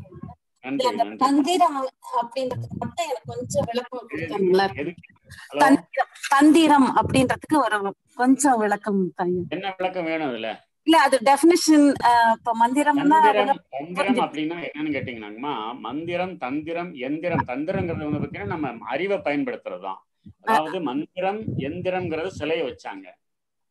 தந்திரங்கிறது இந்த ரெண்டையும் எப்படி நம்ம யூஸ் பண்றது அப்படிங்கறத அந்த அதுல சொல்லப்பட்டிருக்குங்கம்மா வேற ஒண்ணும் இல்லைங்கம்மா. ஓகே. அறிவை பயன்படுத்தி நம்ம மந்- மந்திரத்தையும் தந்திரத்தையும் எப்படி பயன்படுத்துதுன்ற அறிவு தான் தந்திரம். ஆமா ஆமா. சிலை வழிபாடு நம்ம பண்ணோம் இல்லைங்களா? சரிங்க ஐயா. அதே வந்து பாத்தீங்கன்னாக்கா சங்கல்பம் ஆட்டோ சங்கல்பம் சொல்றது பிரேயர் பண்றது தான் பாத்தீங்கன்னா தந்திரம். ஓகேங்க ஐயா. தேங்க்ஸ் நன்றி வாழ்க ஐயா. வாழ்க வளமுடன். வாழ்க வளமுடன். நெக்ஸ்ட் ஃபோன் நம்பர் கொடுத்துருக்காங்க. ஐடபிள்யூ அப்படின்ட்டு. ஐயா நீங்க என்ட்ரி ஆகும்போது அங்க ரீநேம் ஆப்ஷன் இருக்கும் யூஸ் பண்ணி உங்க நேமை டைப் பண்ணிட்டு வாங்க. வாழ்க வளமுடன். நெக்ஸ்ட் உமா? ஐயா கேளுங்கம்மா. ஐயா வாழ்க. வளமுடன். நான் எந்த இருந்து சொல்லுங்கம்மா? டெல்லி டெல்லி ஜோன் நான் வந்து அட்வான்ஸ் டிப்ளமா படிச்சிட்டு இருக்கேன் இன்றைய கிளாஸ் வந்து எங்களுக்கு எங்களுக்கு மட்டும் இல்ல இங்க இருக்க அனைவருக்குமே பயனுள்ளதாக இருந்துச்சு. மிக அற்புதமாக இருந்துச்சு. ஒரு பட்டு தூக்கமே வரல எங்களுக்கு சொல்லப்போனா. இன்ட்ரெஸ்டா இருந்துச்சு. ஓப்பனா சொல்றேன். அப்புறம் வந்து நீங்க எனக்கு நீங்க சொன்ன குரல் எல்லாமே ரொம்ப பிடிச்சிருந்துச்சு அதுல ஒரே ஒரு குரல் மட்டும் நான் சொன்னேன். இச்செயலை எவர் ஒருவர் எவர் ஒருவர் அடிக்கடி நினைக்கிறாரோ அந்த குரல் வந்து கொஞ்சம் சொல்லுங்க ஐயா. சொல்லிட்டு எப்பொருளை எச்செயலை எக்குணத்தை எவ்வுயிரை ஒருவர் அடிக்கடி நினைத்தால் அப்பொருளின் தன்மையாய் மாற்றுவது இயற்கையின் இயல்பூக்க நியதி. தப்பாது குரு உயர்வு மதிப்போர் தம்மை தரத்தில் உயர்த்தி பிறவி பயனை நல்கும். ஞானக்களஞ்சியத்தில் இருக்குங்கம்மா அந்த பாட்டு. ரொம்ப நன்றிங்க. ரொம்ப அற்புதமா இருக்கு. அடிக்கடி. கேட்டிருக்கேன். ரொம்ப ரொம்ப ரொம்ப நல்லா இருந்துச்சு. நன்றிங்க. நன்றிங்கம்மா. தேங்க்யூ ஸோ நன்றி. மச் வாழ்க வளம் வாழ்க்கை வளமுடன். வாழ்க வளமுடன். நெக்ஸ்ட் ஸ்ரீரங்கா காஞ்சிபுரம். ஆஹ் ஸ்ரீ ஐயா வாழ்க வளமுடன். ஸ்ரீரங்கம் செம்பாக்கம் மண்டலத்துல இருந்து பேசுறேங்க ஐயா. ஐயா உங்களுடைய எல்லாமே நானும் புக் ஆல்ரெடி இந்த லெசன் ரிவ்யூ பண்ணினேன். கொஞ்சம் கஷ்டமா தான் இருந்துச்சு பட் இப்ப எல்லாமே கிளியர் ஆயிடுச்சுங்க எல்லா டவுட்டுமே அதுல ஒரு doubt வந்து இப்போ வேதம் பற்றிய வேதாத்திரியம் கூறும் பொருள் சொல்லிட்டு புக்ல பதிமூணாவது பக்கத்துல இருக்குங்க ஐயா. அதுல வந்து ஆனா யோகம் பத்தி தான் ஃபுல்லாவே இருக்குது. அத கொஸ்டின் வந்து எப்படி யோகம் பற்றி கேட்ட வேதம் பற்றின்னு கேட்டாலும் அதே இதான் எழுதணுமாங்கய்யா எப்படிங்கய்யா இல்ல வேதம்னா என்ன சொல்லுதுனாக்க எப்படி வாழ்ற? வேதம்னா அறிவு தாங்கம்மா வேதம் பற்றி என்ன சொல்றது? வேதம் என்ன கேள்வி? உங்க கேள்வி கிளியரா கேளுங்க மறுபடியும். அதான் வேதம் பற்றி வேதாத்திரியம் கூறும் பொருள் விளக்கம்னு இருக்குங்கய்யா புக்ல அதுக்கு கீழே பாத்தீங்கன்னா உடலுக்கும் உயிருக்கும் இடையே இனிமை காத்தல். யோகத்தை பத்தி தான் ஃபுல்லாவே அதை மட்டும் எழுதுங்க போதும். உடலுக்கும் உயிருக்கும் இயற்கைக்கும் மனிதனுக்கும் உள்ள உறவுகள் இனிமை காக்க வேண்டும். அதைத்தான் வேதங்கள்ல வேதங்கள்ல சொல்லப்பட்ட செய்தி தான் யோக முறைகளையும் சொல்லப்படுது. அதைத்தான் மகிழி சொல்றாங்க.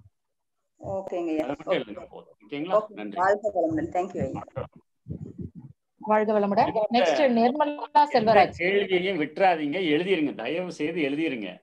சரிங்களா? ஓகே. சொல்லுங்க. நிர்மலா செல்வராஜ் அம்மா கேளுங்கம்மா எந்த ஜோன் நான் கூடுவாஞ்சேரி மண்டலத்துல இருந்து பேசுறேன். உங்க கிளா வகுப்பு ரொம்ப அருமையா இருந்தது. கண்ணை மூடிட்டு உட்காந்துருந்தா ஆழியார்ல நீங்க கிளாஸ் எடுக்கிறத எப்படி எடுப்பீங்க? எங்க கிளாஸ்ல உட்காந்துருக்க மாதிரியே ஒரு ஃபீலிங் இருந்தது. சொல்ல சொல்ல ரொம்ப அருமையா இருந்ததுயா வாழ்க வளமுடன். வாழ்க வளமுடன். நன்றிங்கம்மா நெக்ஸ்ட் வாழ்க வளமுடன். ஜோதி மீனாட்சி. வாழ்க வளமுடன். கேக்குறதாம்மா? கேளுங்கம்மா. வாழ்க வளமுடன். வாழ்க வளமுடன். ரொம்ப அருமையா இருந்தது. மிகவும் ரொம்ப உபயோகமாகவும் இருந்தது. அஹ் தந்திரம் எந்திரம் மந்திரம். இது வந்து ரொம்ப அழகா எங்களுக்கு புரிஞ்சது ஐயா மிகவும் நன்றி ஐயா. கே- குழப்பமாவே இருந்தது ரொம்ப கிளியர் ஆயிடுச்சு. நன்றிங்கம்மா நன்றி நன்றிங்க ஐயா. வாழ்க வளமுடன் நெக்ஸ்ட் மதுராம்பா ஆ. ஹலோ. கேளுங்கம்மா. ஆ கேளுங்கம்மா. எந்த ஜோனுன்னு சொல்லிட்டு கேளுங்க. ஜாஃபர் கான் பேட்ல இருந்து பேசுறேன் மன்றத்துல ஸ்டூடெண்ட் நானு. எனக்கு வந்து பாடம் ரொம்ப நல்லா புரிஞ்சுதுங்க ஐயா. எனக்கு இந்த லெசன்ஸ் வந்து கொஞ்சம் டஃப்பா இருந்த மாதிரி இருந்தது. இப்ப நீங்க ஒவ்வொரு விளக்கமும் சொல்ல சொல்ல சொல்ல எங்களுக்கு அது ரொம்ப ஈஸியா இருந்தது. இப்ப இந்த கொஸ்டின்ஸ் வந்து டூ மார்க்ஸ் கொஸ்டின்ஸ் அந்த பேக்ல இருக்கு இல்லையா? அதை மட்டும் படி புரியல. ஆமா ஆமா. அது மட்டும் இப்ப அதுக்கு பேஸ் பண்ணி தான் நான் கிளாஸ் எல்லாம் எடுத்திருக்கிறேங்கம்மா. ஆ சரி சார் ஆமா அந்த பவர் பாயிண்ட் எல்லாமே இருக்குது. அந்த ரெண்டு மார்க் கேள்வியில கண்டிப்பா உங்களுக்கு நிச்சயமா ரெண்டு கேள்வி மூணு கேள்வி வந்துருங்க. ஆ ஓகேங்கய்யா அதான் நீங்க டூ மார்க்ஸ் இந்த பேக்ல உள்ள கொஸ்டின்ஸ் மட்டும் படிச்சா போருமா டூ மார்க்ஸ் பேக்ல உள்ள கொஸ்டின் மாத்திரம் இப்ப நான் எடுத்தேன்னா அந்த பேக்ல உள்ள கொஸ்டின் எடுத்துருவாங்கம்மா. வேற யாராவது எடுத்தாங்கன்னா எப்படி எடுப்பாங்கன்னு தெரியாதுல்ல. சரிங்க. முடிஞ்ச வரைக்கும் இந்த இந்த கொஸ்டின் தான் எடுப்பாங்க. அதை பத்தி நீங்க பயப்படவே வேண்டாம். ஓகேங்களா? இதை மாத்திரம் நீங்க படிச்சுட்டு போங்க போதும். சரிங்க ஐயா. ரொம்ப நன்றி வாழ்க வளமுடன். நெக்ஸ்ட் ஒரே ஒருத்தங்க இருக்காங்க. அவங்க ஃபோன் நம்பர் கொடுத்துருக்காங்க. எனக்கு நேம் தெரியல. கேளுங்கய்யா. வாழ்க வளமுடன்.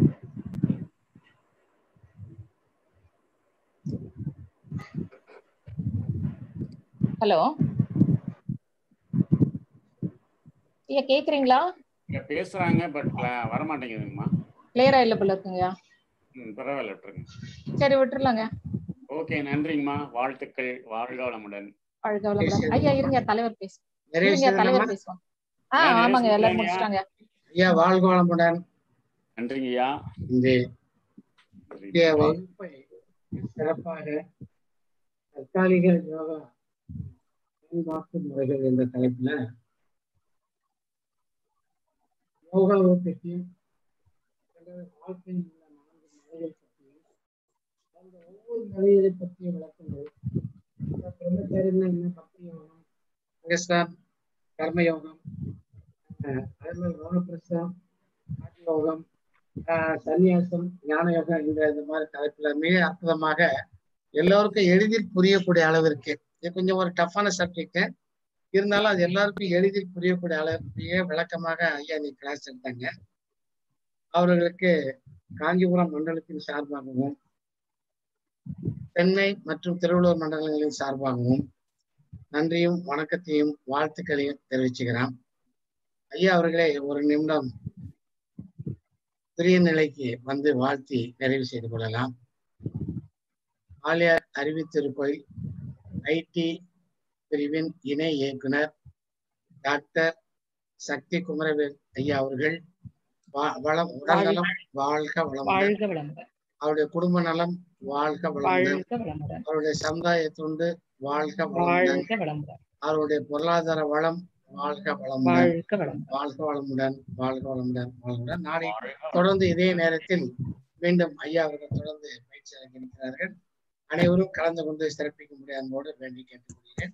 அனைத்து மாணவர்களுக்கு என் அன்பான நன்றி வணக்கம் வாழ்க வளமுடன். வாழ்க வளமுடன். ஐயா. ஐயா முடிச்சுக்கலாமாங்க ஆமா எல்லாம். பிபிடி கேக்குறீங்க. நீங்க யூடியூப்ல போய் பார்த்து இந்த எங்களுடைய அந்த வீடியோவை டவுன்லோட் பண்ணிட்டு பார்க்கலாமா? பிபிடி ஒரு ஒருத்தவங்களுக்கும் அனுப்ப முடியாது. நீங்க கொஞ்சம் யூடியூப்ல போய் செக் பண்ணுங்க. வாழ்க வளமுடன். ஐயா முடிச்சுக்கலாமாங்க ஐயா நான் முடிச்சுக்கிறேன் ஆ ஓகே ம் வாழ்க வளமுடன். Close meeting. Leave meeting.